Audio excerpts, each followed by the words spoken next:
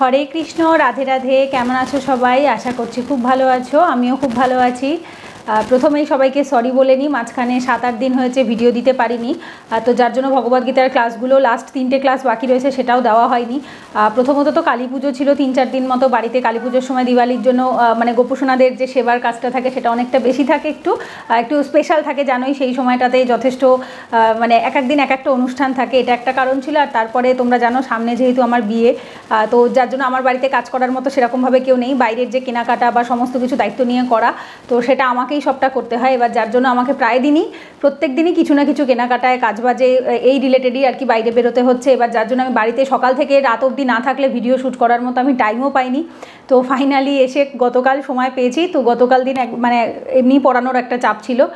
তো গতকাল পড়িয়েছি আর আজকে তোমাদের ভগবদ্গীতার ক্লাসটা শ্যুট করতে বসলাম। আশা করছি তোমরা আজকে বিকেলেই দেখতে পেয়ে যাবে। আমি দুপুর দুপুরই আর কি দিয়ে দেবো। আচ্ছা আজকে আমরা ষোলো নাম্বার চ্যাপ্টার পড়ব। এর আগে আমাদের পনেরো নাম্বার চ্যাপ্টার অবধি কমপ্লিট হয়ে গেছে। তো আমরা ষোলো নাম্বার চ্যাপ্টার সেটা হচ্ছে দৈবাসুর সম্পদ বিভাগ যোগ। এই চ্যাপ্টারটা খুব ইম্পর্টেন্ট খুব বেশি সময় লাগবে না, এক দেড় ঘণ্টার মধ্যে হয়ে যাবে, কারণ খুব সম্ভবত কুড়ি থেকে একুশটা মতো শ্লোক রয়েছে, বাইশটা শ্লোকের মধ্যে আর কি কমপ্লিট হয়ে যাবে, বাইশ তেইশটা শ্লোকে। আর কিন্তু এটা খুব ইম্পর্টেন্ট এই কারণে, কারণ আমরা কলিযুগে এই কারা দৈবিক, অনেকে নিজেদেরকে ভগবান বলে দাবি করেন, অনেকে নিজেদেরকে, অনেকে আবার অন্য মানুষকে শয়তান বলেন। তো কে অ্যাকচুয়ালি অসুর, ঠিক আছে? যাদেরকে আমরা অসুর বা শয়তান বলে থাকি, কারা কোন গুণে কারা অসুর হয় এবং কোন গুণে কেউ দৈবিক সম্পদ লাভ করেন বা দেবতাদের সমান হন? ভগবানের সমান কেউ হতে পারেন না বাট দৈবিক সম্পদ যেটা, সেটা হচ্ছে দেবতাদের থেকে যে গুণাবলীগুলো আসে, সেটা হচ্ছে দৈবিক সম্পদ, যেটা দেবতাদের মধ্যেও আছেন। ঠিক আছে? এইবার আমরা স্টার্ট করছি। এক থেকে তিন, প্রথম তিনটে শ্লোক একসাথেই রয়েছে, ঠিক আছে? পরমেশ্বর ভগবান বললেন, হে ভারত দিব্য ভাব সমন্বিত ব্যক্তিদের মধ্যে ভয় শূন্যতা এইবার এই যে তিনটে শ্লোক রয়েছে, এক, দুই, তিন, এখানে ভগবান বলবেন যে দিব্য ভাব মানে কারা দৈবিক গুণাবলিতে, তো এখানে ভগবান যে বৈশিষ্ট্য বা গুণগুলোর কথা বলেছেন, এটা যাদের ভেতর দৈবিক কোয়ালিটি রয়েছে, তাদের ভেতর এটা পাওয়া যাবে। তো এটা নিজেদের সাথেও আমরা মিলিয়ে দেখতে পারি যে আমাদের ভেতর কোন কোন আসরিক প্রবৃত্তি রয়েছে এবং কোন, কোনগুলো দৈবিক প্রবৃত্তি রয়েছে। দিব্য ভাব সমন্বিত ব্যক্তিদের মধ্যে ভয় শূন্যতা, সত্তার পবিত্রতা, পারমার্থিক জ্ঞানের অনুশীলন যোগ সাধন, দান, আত্মসংযম যোগ্য অনুষ্ঠান, বৈদিক শাস্ত্র অধ্যয়ন, তপশ্চর্যা, সরলতা, অহিংসা, সত্যবাদিতা, ক্রোধ শূন্যতা, বৈরাগ্য, শান্তি, অদশ অদশদর্শী মানে যারা দোষ দেখে না অদশদর্শী সমস্ত জীবে দয়া লোভহীনতা মৃদুতা, লজ্জা, অচপলতা, তেজ, ক্ষমা, ধৈর্য, শৌচ মাৎসর্যহীনতা বা অদ্রোহ, যে দ্রোহ করে না, বিদ্রোহ করে না মাৎসর্যহীনতা, অভিমান শূন্যতা, এই সমস্ত দিব্য গুণগুলি দেখা যায়। কাদের ভেতরে? যারা দিব্য ভাব সমন্বিত হয়। মানে যাদের ভেতর ডিভাইন কোয়ালিটি বেশি থাকে বা যাদের ভেতরে ভগবানের আশীর্বাদ থাকে, ভগবানের কৃপা থাকে বা যারা দেবতাদের গুণ সমন্বিত হয়ে জন্মগ্রহণ করে বা নিজেদের জীবনযাপন করে। এইবার আমরা একটা একটা করে বুঝব এখানে। ভগবান অর্জুনকে বলছেন, হে ভারত, যেহেতু তিনি ভরতের বংশজাত ছিলেন, সেহেতু ভারত দিব্য ভাব সমন্বিত ব্যক্তিদের মধ্যে প্রথম যে কোয়ালিটিটা থাকবে সেটা হচ্ছে ভয় শূন্যতা। ভয় শূন্যতা কেন? আমরা প্রহ্লাদ মহারাজকে দেখলেই সেটা সব থেকে সহজে আমরা বুঝতে পারি। সব থেকে হাইয়েস্ট লেভেলের ভয় শূন্যতা যদি প্রমাণ কেউ দিয়ে থাকে সেটা হচ্ছে ভক্ত প্রহ্লাদ মহারাজ। কারণ তিনি হচ্ছে ভক্তদের শিরোমণি। কেন? কারণ তাকে উঁচু পাহাড় থেকে ফেলে দেওয়া হচ্ছে, সাপের মধ্যে একটা ঘরে আটকে রাখা হচ্ছে, তাকে আগুনে পুড়িয়ে দেওয়া হচ্ছে, যাই করে নিক না কেন, তিনি সমস্ত সময় মনে তিনি হরির নাম জপ করে গেছেন এবং তিনি জানতেন যে হরি আমাকে রক্ষা করবেন। আমার ভগবান আমাকে রক্ষা করবেন এবং তার মনে কোনো রকম কোনো ভয় থাকে না। তো যে ভগবানে বিশ্বাসী হবে, যার ভেতর দিব্য ভাব থাকবে, তিনি সবসময় জানবে যে আমার সাথে আমার ভগবান আছে। তো আমার সাথে আমি যদি অন্ধকার রাস্তা দিয়ে একা হেঁটেও যাই, আমি জানি আমার হরি আমাকে রক্ষা করবে, আমার গোবিন্দ আমাকে রক্ষা করবে। এই মনে যে বিশ্বাসটা যখন তার চলে আসে যে যাই হয়ে যাক না কেন, মনে কোনো কিছুতেই তার ভয় থাকবে না। তো সেটাকে বলা হয়ে থাকে ভয় শূন্যতা এরপরে আসে হচ্ছে সত্তার পবিত্রতা। আমাদের ভেতরে প্রত্যেকের একটা সত্তা থাকে মানে আমাদের যে আত্মা যেটা থাকে বা আমাদের নিজেদের যে মনের ভেতর যেটা থাকে দ্যাট ইজ কল সত্তা। আমরা বলি না আত্ম, নিজের যে সত্তাটা থাকে। থাকে, যেমন নারী সত্তা, পুরুষ সত্তা আমরা এভাবে করে ডিফাইন করে থাকি। মানে যেটা তোমার ভেতরে যে ভাবটা থাকে, তো সেটার একটা পবিত্রতা থাকতে লাগে। যেরকম শরীরের পবিত্রতাকে আমরা শৌচতা বলে থাকি, বা শৌচতার মাধ্যমে আমরা শরীরকে পবিত্র রাখি, সেরকমই আমাদের মনকেও পবিত্র রাখতে হয়। আমাদের মনের ভেতরেও যেন কালিমা না আসে, আমাদের সত্তা যেন কখনো অপবিত্র না হয়। আমরা যেন কোনো মানুষের সম্পর্কে খারাপ কিছু না ভাবি। করা তো অনেক দূরের কথা, কিন্তু ভাবনাতেও যদি সেটা আসে, সেটাও সত্তাকে অপবিত্র করে দেয়। তো সুতরাং আমাদেরকে দৈব ভাব যাদের থাকবে, তাদের সত্তা কী হবে? পবিত্র থাকবে। এরপর পারমার্থিক জ্ঞানের অনুশীলন, পারমার্থিক জ্ঞানের অনুশীলন। পারমার্থিক মানে আধ্যাত্মিক, ঠিক আছে? পরম যুক্ত অর্থ, পরম অর্থকে ভগবান ভগবান বিষ্ণু বা ভগবান গোবিন্দকে আমরা বলে থাকি পরম, পরমার্থ। তো তাকে লাভ করা হচ্ছে পরমার্থ এবং তার রিলেটেড বা তাকে জানার যে ইচ্ছেটা বলতে পারো, যেটাকে ব্রহ্ম জিজ্ঞাসা বলা হয়, তো সেই জিনিসটাকে বলা হয়ে থাকে হচ্ছে পারমার্থিক জ্ঞানের ইচ্ছা। মানে আমি কে, কোথার থেকে এসেছি, কার কাছে যাব, আমার পারমানেন্ট হোম কোথায়, এই যে জিনিসটা, এই যে জিজ্ঞাসাটা আমাদের মনের মধ্যে থাকে এবং তখন থেকেই আমরা আস্তে আস্তে কী হয়, জ্ঞান অনুশীলন করতে স্টার্ট করি, এই বই পড়া, ওই বই পড়া, প্রভুজিদের ভিডিও দেখা, এই যে জিনিসগুলো, এগুলো পারমার্থিক জ্ঞানের অনুশীলন করা, যেটা আমাদের মধ্যে প্রত্যেকেরই আছে, আশা করছি, কারণ যারা ভগবদ্গীতার ক্লাস দেখে বা শোনে, তাদের একশোবার সেই পারমার্থিক জ্ঞান অনুশীলন করার ইচ্ছে আছে এবং তারা আছে বলেই তারা করছে। আচ্ছা এরপরে পারমার্থিক জ্ঞানের অনুশীলন, যোগ সাধন, যারা যোগকে প্র্যাকটিস করে। এইবার এই যোগ যে জিনিসটা, এটা শুধুমাত্র ইয়োগা মেডিটেশন প্রাণায়াম এগুলোই নয়, এটা একশোবার যোগের অংশ। এর বাইরেও, যেরকম আমরা অলরেডি ভগবদ্গীতায় পড়েছি রাজযোগ রয়েছে কর্মযোগ রয়েছে, জ্ঞান যোগ রয়েছে, ধ্যান যোগ, ভক্তি যোগ, এগুলো প্রত্যেকটাই যোগ। যোগ মানে কি? যোগ মানে ভোগের ঠিক উল্টো। ভোগ মানে ইন্দ্রিয়ের তৃপ্তি করা, কাম করা, লোভ, মোহ এগুলোর মধ্যে নিজেকে আটকে রাখা এবং সেটাই আমার ইন্দ্রিয় সুখের জন্য আমি সব কিছু করছি। দ্যাট ইজ ভোগ। আর যোগ হচ্ছে সমস্ত কিছুতে থেকেও আমি পদ্মপাতার মতো থাকব। যেমন ভগবান বারবার কিন্তু ভগবদ্গীতায় কথাটি বলেছেন যে পদ্মপাতায় যেমন জল ধরে না, যোগী কেউ কোনো কিছু ছুতে পারে না। সে সমস্ত কিছুর মধ্যে থেকেও নিজেকে কোনো কিছুর সাথে অ্যাটাচ করে না। সে ডিট্যাচমেন্টে থাকে। দ্যাট ইজ কল দি যোগ। মানে আমি সব কিছুতে থাকব বাট কোনো কিছু যে আমার নয়, এগুলো কোনোটাই যে পারমানেন্ট নয়, সবটাই যে টেম্পোরারি এইটা আমার মাথায় থাকবে। এবং তার জন্য আমাদের যে কোনো একটা যোগের পন্থাকে অতি অবশ্যই অবলম্বন করতে হয়। আমরা এর আগেও দেখেছি যে ভক্তিযোগ অবশ্যই শ্রেষ্ঠ বাট যদি সেটা নাও হয়, অন্তত যে কোনো একটা যোগের পন্থা অবশ্যই তাকে প্র্যাকটিস করতে হয়, যোগ সাধন। এরপর দান। দান তো অবশ্যই করতে হয়। আমি আগেও আমার চ্যানেলে অলরেডি ভিডিও আছে। জপ, তপ, দান। এই তিনটে জিনিস ভীষণভাবে নিজের আত্মাকে কলুষতার থেকে রক্ষা করে। আমরা আগের জন্মে যে খারাপ কর্মগুলো করেছি, এই তিনটে কর্মের মাধ্যমে আস্তে আস্তে সেই জিনিসটা কাটতে থাকে। জপ তপ দান। জপ করা মানে নাম জপ করা, তপ মানে তপস্যা করা, যেরকম আমরা একাদশী করে থাকি, জন্মাষ্টমী করে থাকি, যে ব্রত পালন করি, উপবাস পালন করি, এগুলো এক এক প্রকার তপস্যা। বা আত্মসংযম করা, ইন্দ্রিয়ের প্রশস্তির জন্য খারাপ কোনো কাজে লিপ্ত না হওয়া পঞ্চ ইন্দ্রিয়কে কন্ট্রোল করা, সেটা খাবার দিক থেকে হোক, কামের দিক থেকে হোক, সমস্ত দিক থেকে কন্ট্রোল করা, এগুলো হচ্ছে তপস্যা। আর হচ্ছে দান। দান হচ্ছে কোনো মানুষকে কিছু দান করা, গরিব মানুষকে খাওয়ানো, দরিদ্র নারায়ণ সেবা করা, বা হচ্ছে গোমাতার সেবা করা, পশু পাখি বাইরে যারা রয়েছে, যারা যেচে আসছে যে সেবা, সেই সেবাকে কখনো অবহেলা করতে নেই। যে সেবা নিজের থেকে আসে, যে হ্যাঁ কোনো মানুষ তোমার কাছে কিছু চাইতে আসলো, কিছু খাবার খেতে আসলো, কোনো একটা অবলা জীব তোমার সামনে দেখছ অসুস্থ হয়ে পড়ে রয়েছে, তার একটা প্রপার ট্রিটমেন্ট করানোর একটু ব্যবস্থা করে দেওয়া, এইভাবে আমরা কি করতে পারি? দান করতে পারি। এছাড়া নির্দিষ্ট দিনে তো একশোবার দান করতেই হয়, যেমন দ্বাদশীর দিন অনেকে দান করে, দ্বাদশীতে মাস্ট দান দান করা। বাট স্টিল অন্যান্য সমস্ত দিনেই যদি আমরা দান করি, এটাও একটা সাধু গুণ বা দৈব গুণের মধ্যেই পড়ছে। এরপরে দানের পর আত্মসংযম, যেটা আমরা পুরো ভগবদ্গীতাতে ভগবান যেটা বলেছেন, আত্মসংযম অবশ্যই আমাদের করতে হবে। ইন্দ্রিয়ে, ইন্দ্রিয়কে সন্তুষ্ট কেউ করতে পারে না। ইন্দ্রিয়কে সন্তুষ্ট করা, এই যে কাম যেটা, সেটাকে দুর্দমনীয় বলা হয়েছে ভগবদ্গীতায় বারবার। দুর্দমনীয় কেন? কারণ তুমি ওকে যতই চেষ্টা করো দমন করার, ওকে কখনো দমন করতে পারবে না। এর কোনো শেষ নেই আনলিমিটেড সো যার জন্য আমরা কি করব? ইন্দ্রিয়কে সবসময় সংযম করার চেষ্টা করব। আর সেগুলো এই প্র্যাকটিসগুলোর মাধ্যমেই চলে আসে। আচ্ছা এরপরে যোগ্য অনুষ্ঠান। যোগ্য অনুষ্ঠান, কলিযুগের যোগ্য কি? হরে কৃষ্ণ মহামন্ত্র জপ করা।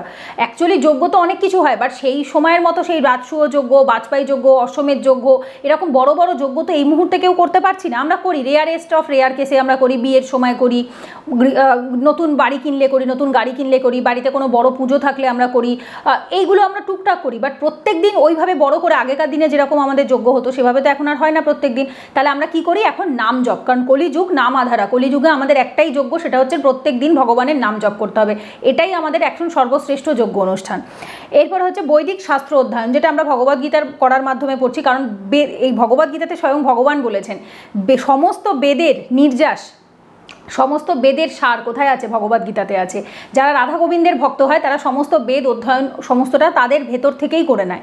আলাদা করে বেদ পড়ার দরকার পড়ে না। কিন্তু এছাড়াও আমরা অবশ্যই যেটা সব থেকে বড় মহাপুরাণ, যেটাকে আমরা শ্রীমদ্ ভাগবতাম বলে থাকি বা ভগবত পুরাণ, তো সেখান থেকে অবশ্যই আমরা বেদের নির্যাস পড়ছি, ভগবত গীতার থেকে পড়ছি, উপনিষদ থেকে পড়ছি, তো সেখান থেকে বৈদিক শাস্ত্র অধ্যয়ন করা। তপশ্চর্যা, যেটা আমি একটু আগে বলছিলাম, তপস্যার কথা, সেটাই ভগবান এখানে বলেছেন। তপশ্চর্যা। তপস্যা আমরা এইমাত্র আমি বোঝালাম তপস্যা আমরা কী কীর মাধ্যমে করতে পারি? যে কোনো জিনিস যেটার মাধ্যমে আমাদের মনকে ইন্দ্রিয়কে কন্ট্রোল করতে হয়।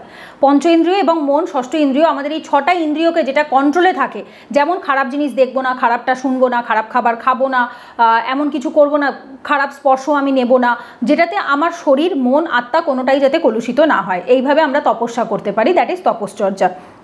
আচ্ছা এরপরে আসে হচ্ছে সরলতা। অবশ্যই যারা দৈবিক গুণাবলীর মানুষ হয়, তারা ভীষণ সরল হয়। ভীষণ মানে মানুষ হয়তো তাদেরকে বোকা ভাবে ঠিকই বলে, কলিযুগে বাঁচার মতো না। আমাকে এই কথাটা বহু শুনতে হয়েছে আমার একটা টাইমে আমার নিজের লোকেদের কাছ থেকে, যে তুই কলিযুগে মানে টিকে থাকার মতো নোস। কারণ একটা টাইমে খুব বোকা ছিলাম এবং মানুষজন সরলতাটাকেই বোকার পয়েন্ট অফ ভিউয়ে নিয়ে নেয়। বাট অ্যাকচুয়ালি না, সরলতা ইজ ডিফারেন্ট আমরা মানুষকে খুব সহজে বিশ্বাস করি ভরসা করি। কারণ কি, আমার মা একটা কথা বলে, যে যেমন জগৎ দেখে তেমন। তো যে যেরকম মানুষকে ভাবে, হয়তো সেই মানুষটাও সেরকম হবে। কিন্তু জগৎটা অ্যাকচুয়ালি সেরকম হয় হয় না তো আশেপাশে অনেক খারাপ মানুষও থাকে, কিন্তু সরলতা একশো বার মানুষের মধ্যে থাকা উচিত। আমরা, আমি এটা নিজেও এখনও মনে প্রাণে বিশ্বাস করি, ঠোক মানে বিশ্বাস করে ঠকতে রাজি আছি বাট কাউকে ঠকাতে নই। তো সরলতা খুব ইম্পর্টেন্ট যেটা দৈবিক গুণাবলীর মধ্যে একটা অন্যতম। এরপরে আসে হচ্ছে অহিংসা। অহিংসা কি? অহিংসা হচ্ছে কোনো কিছুর প্রতি আমার হিংসাত্মক মানসিকতা থাকবে না। আমি কোনো কিছুর প্রতি খারাপ ব্যবহার, খারাপ কথা, খুন করা মারা তো অনেক দূরের কথা। অত দূর অবধি আমরা ভাবই না, কাউকে মারবো। কিন্তু কারোর প্রতি খারাপ ব্যবহার করা, কাউকে একটা মানে কি বলব, কষ্ট দিয়ে কথা বলা, আঘাত দেওয়া, এটাও হিংসাত্মক পর্যায়ে চলে যায়। তো সুতরাং কোনো রকম হিংসাত্মক আমরা কিছু করব না, অহিংসা পালন করব। ভগবান কিন্তু বারবার ভগবদ্গীতাতে অহিংসা পালনের কথা বলেছেন। এবং অনেকে ভাবে অহিংসা শুধুমাত্র জৈনিজমেরই যারা জৈন তারা অহিংসা পালন করে। অ্যাকচুয়ালি জৈন যারা, তারা ভীষণ গ্রাস রুটেড হয়, তারা যেটা মহাবীর যেটা বলে গেছেন তো সেটা মেনে চলেন। তো আমাদের হিন্দু ধর্মে বেশিরভাগ মানুষই এখন ডাইলিউটেড হয়ে গেছে, তারা নিজেদের অ্যাকচুয়ালি রুটটাই জানে না, তারা জানেই না যে তারা কোথার থেকে এসে তাদের অ্যাকচুয়াল পিতাকে এবং কেন তাদের মেনে চলা উচিত, তাদের নিজেদের যে ধর্মগ্রন্থ সেটাও তারা পড়ে না। তো সুতরাং তারা ভাবে বোধহয় অহিংসা শুধুমাত্র জৈনিজমদের জন্য, বুদ্ধিজমদের জন্য না। আমাদের যে সনাতন ধর্ম, সেটা প্রথম থেকে সব সময়ই অহিংসা পালনের কথাই বলে এসছে।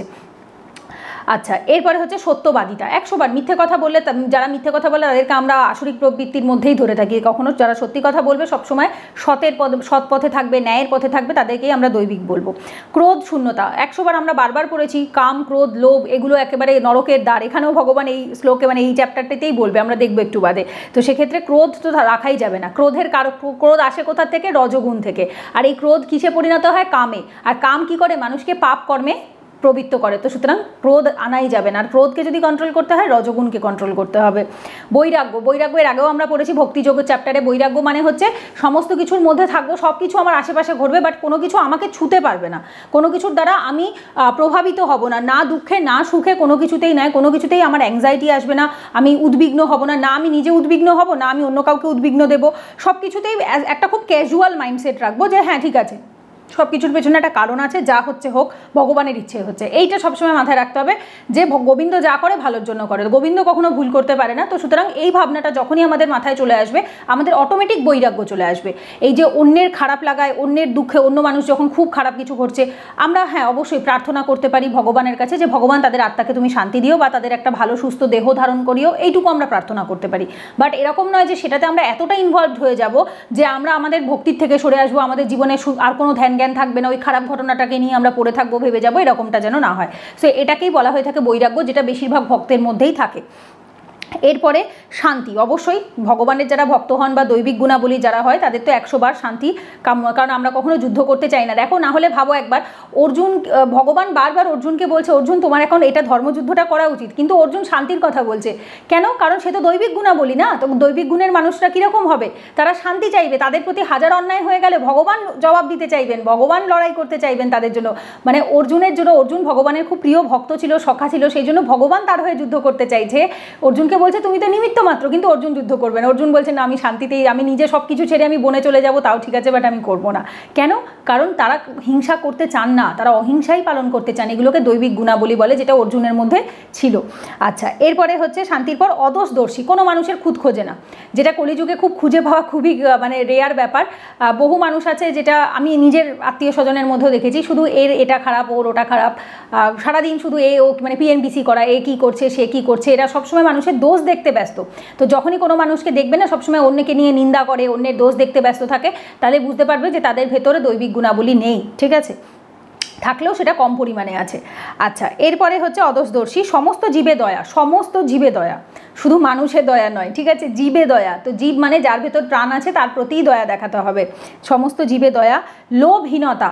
লোভহীনতা, কোনো লোভ থাকবে না। যে হ্যাঁ ঠিক আছে, আমার কাছে বাড়ি আছে গাড়ি আছে, যদি আমাকে গাড়িতে চড়তেও হয়, যদি আমাকে জল খেতেও হয়, খাবার খেতে হয়, ঘরে থাকতে হয়, ফ্যানের হাওয়ায় থাকতে হয়, আমি এটা জাস্ট থাকতে হয় তাই করছি, ভগবান দিয়েছে তাই করছি। কোনো কিছুর প্রতি লোভ নয় যে আমি আজকে এত টাকা রোজগার করেছি, কালকে এত করতে হবে, পরশু এত করতে হবে, এই টাকাটা দিয়ে আমি এই করব, ওই করব। এই যে জল্পনা কল্পনা, লোভ অ্যাকচুয়ালি মানুষের মাথায় মনেই বেশি থাকে। এটা জল্পনা কল্পনাতেই বেশি থাকে। তো সুতরাং ওই জায়গাটাকেই আমাদের কন্ট্রোল করতে হবে, যাতে আমাদের সেই লোভটা না থাকে। আচ্ছা মৃদুতা মৃদুতা হচ্ছে যারা ভালো খুব আস্তে কথা বলে, নমনীয় কথা বলে, মৃদু ভাষী বলা হয়ে থাকে এদেরকে, খারাপ কথা বলে না। কোনো মানুষকে দেখবেন অনেক মানুষ থাকে না, খুব গালাগালি দিয়ে বাজে ভাষায় কথা বলে থাকে। ইউটিউবেই আজকাল দেখতে পাই লোকজন। ইউটিউবে মানে কোনো লজ্জা সরম নেই এদের, আমি শুধু দেখে অবাক হই। কয়েকটা ভিডিও কদিন আগে সাজেশন এসেছিল, গালাগালি দিয়ে ভিডিও বানাচ্ছে। মানে আই ওয়াজ লাইক সিরিয়াসলি ইউটিউবে ভিডিও বানাচ্ছে মানুষ, গালাগালি দিয়ে বানাতে পারে? মানে একবার ভাবে না যে এটা লোকে দেখবে, হাজারটা লোকে দেখবে। তো এইটাই হচ্ছে এখন কলিযুগের অবস্থা, আর কি বলা যাবে। লজ্জা অলরেডি বললাম, এদের ভেতর তো লজ্জা থাকে না। কারণ যারা এরকম হয়, তাদের উল্টো যারা হবে, যারা দৈবিক গুণাবলীর হবে, তাদের তো লজ্জা থাকবে না, ওই জন্যই তাদের লজ্জা করে না খারাপ কথা বলতে। কিন্তু যাদের ভেতর লজ্জাবোধ থাকবে, তাদের ভেতর মৃদুতাও থাকবে। তারা কোনো মানুষের সামনে খারাপ কথা বলার আগে দশবার ভাববে যে, আমার সম্পর্কে মানুষটা কি ভাবছে? আমার পরিবারের শিক্ষার ওপর মানুষটা কি ভাবছে? তো লজ্জা একশো বার একটা দৈবিক গুণাবলীর মধ্যেই পড়ে। এই যে এখন কলিযুগে আমরা বহু মেয়েদেরকে বা বহু মানুষকে দেখতে পাই না, যে শুধু মেয়ে বললে ভুল হবে, ছেলে, মেয়ে সবাই। বহু বলিউড স্টার্সদেরকেও আমরা দেখতে পাই, খুব ছোট ছোট জামা কাপড় পরে। কেউ কেউ তো আছে পুরো ন্যাকেড অবস্থাতেও বোধহয় ছবি শ্যুট করাতে ফটো শ্যুট করাতে একবার দুবার ভাবে না। এবং সেগুলো তারা আবার তাদের সোশ্যাল মিডিয়া হ্যান্ডেলে পোস্টও করে।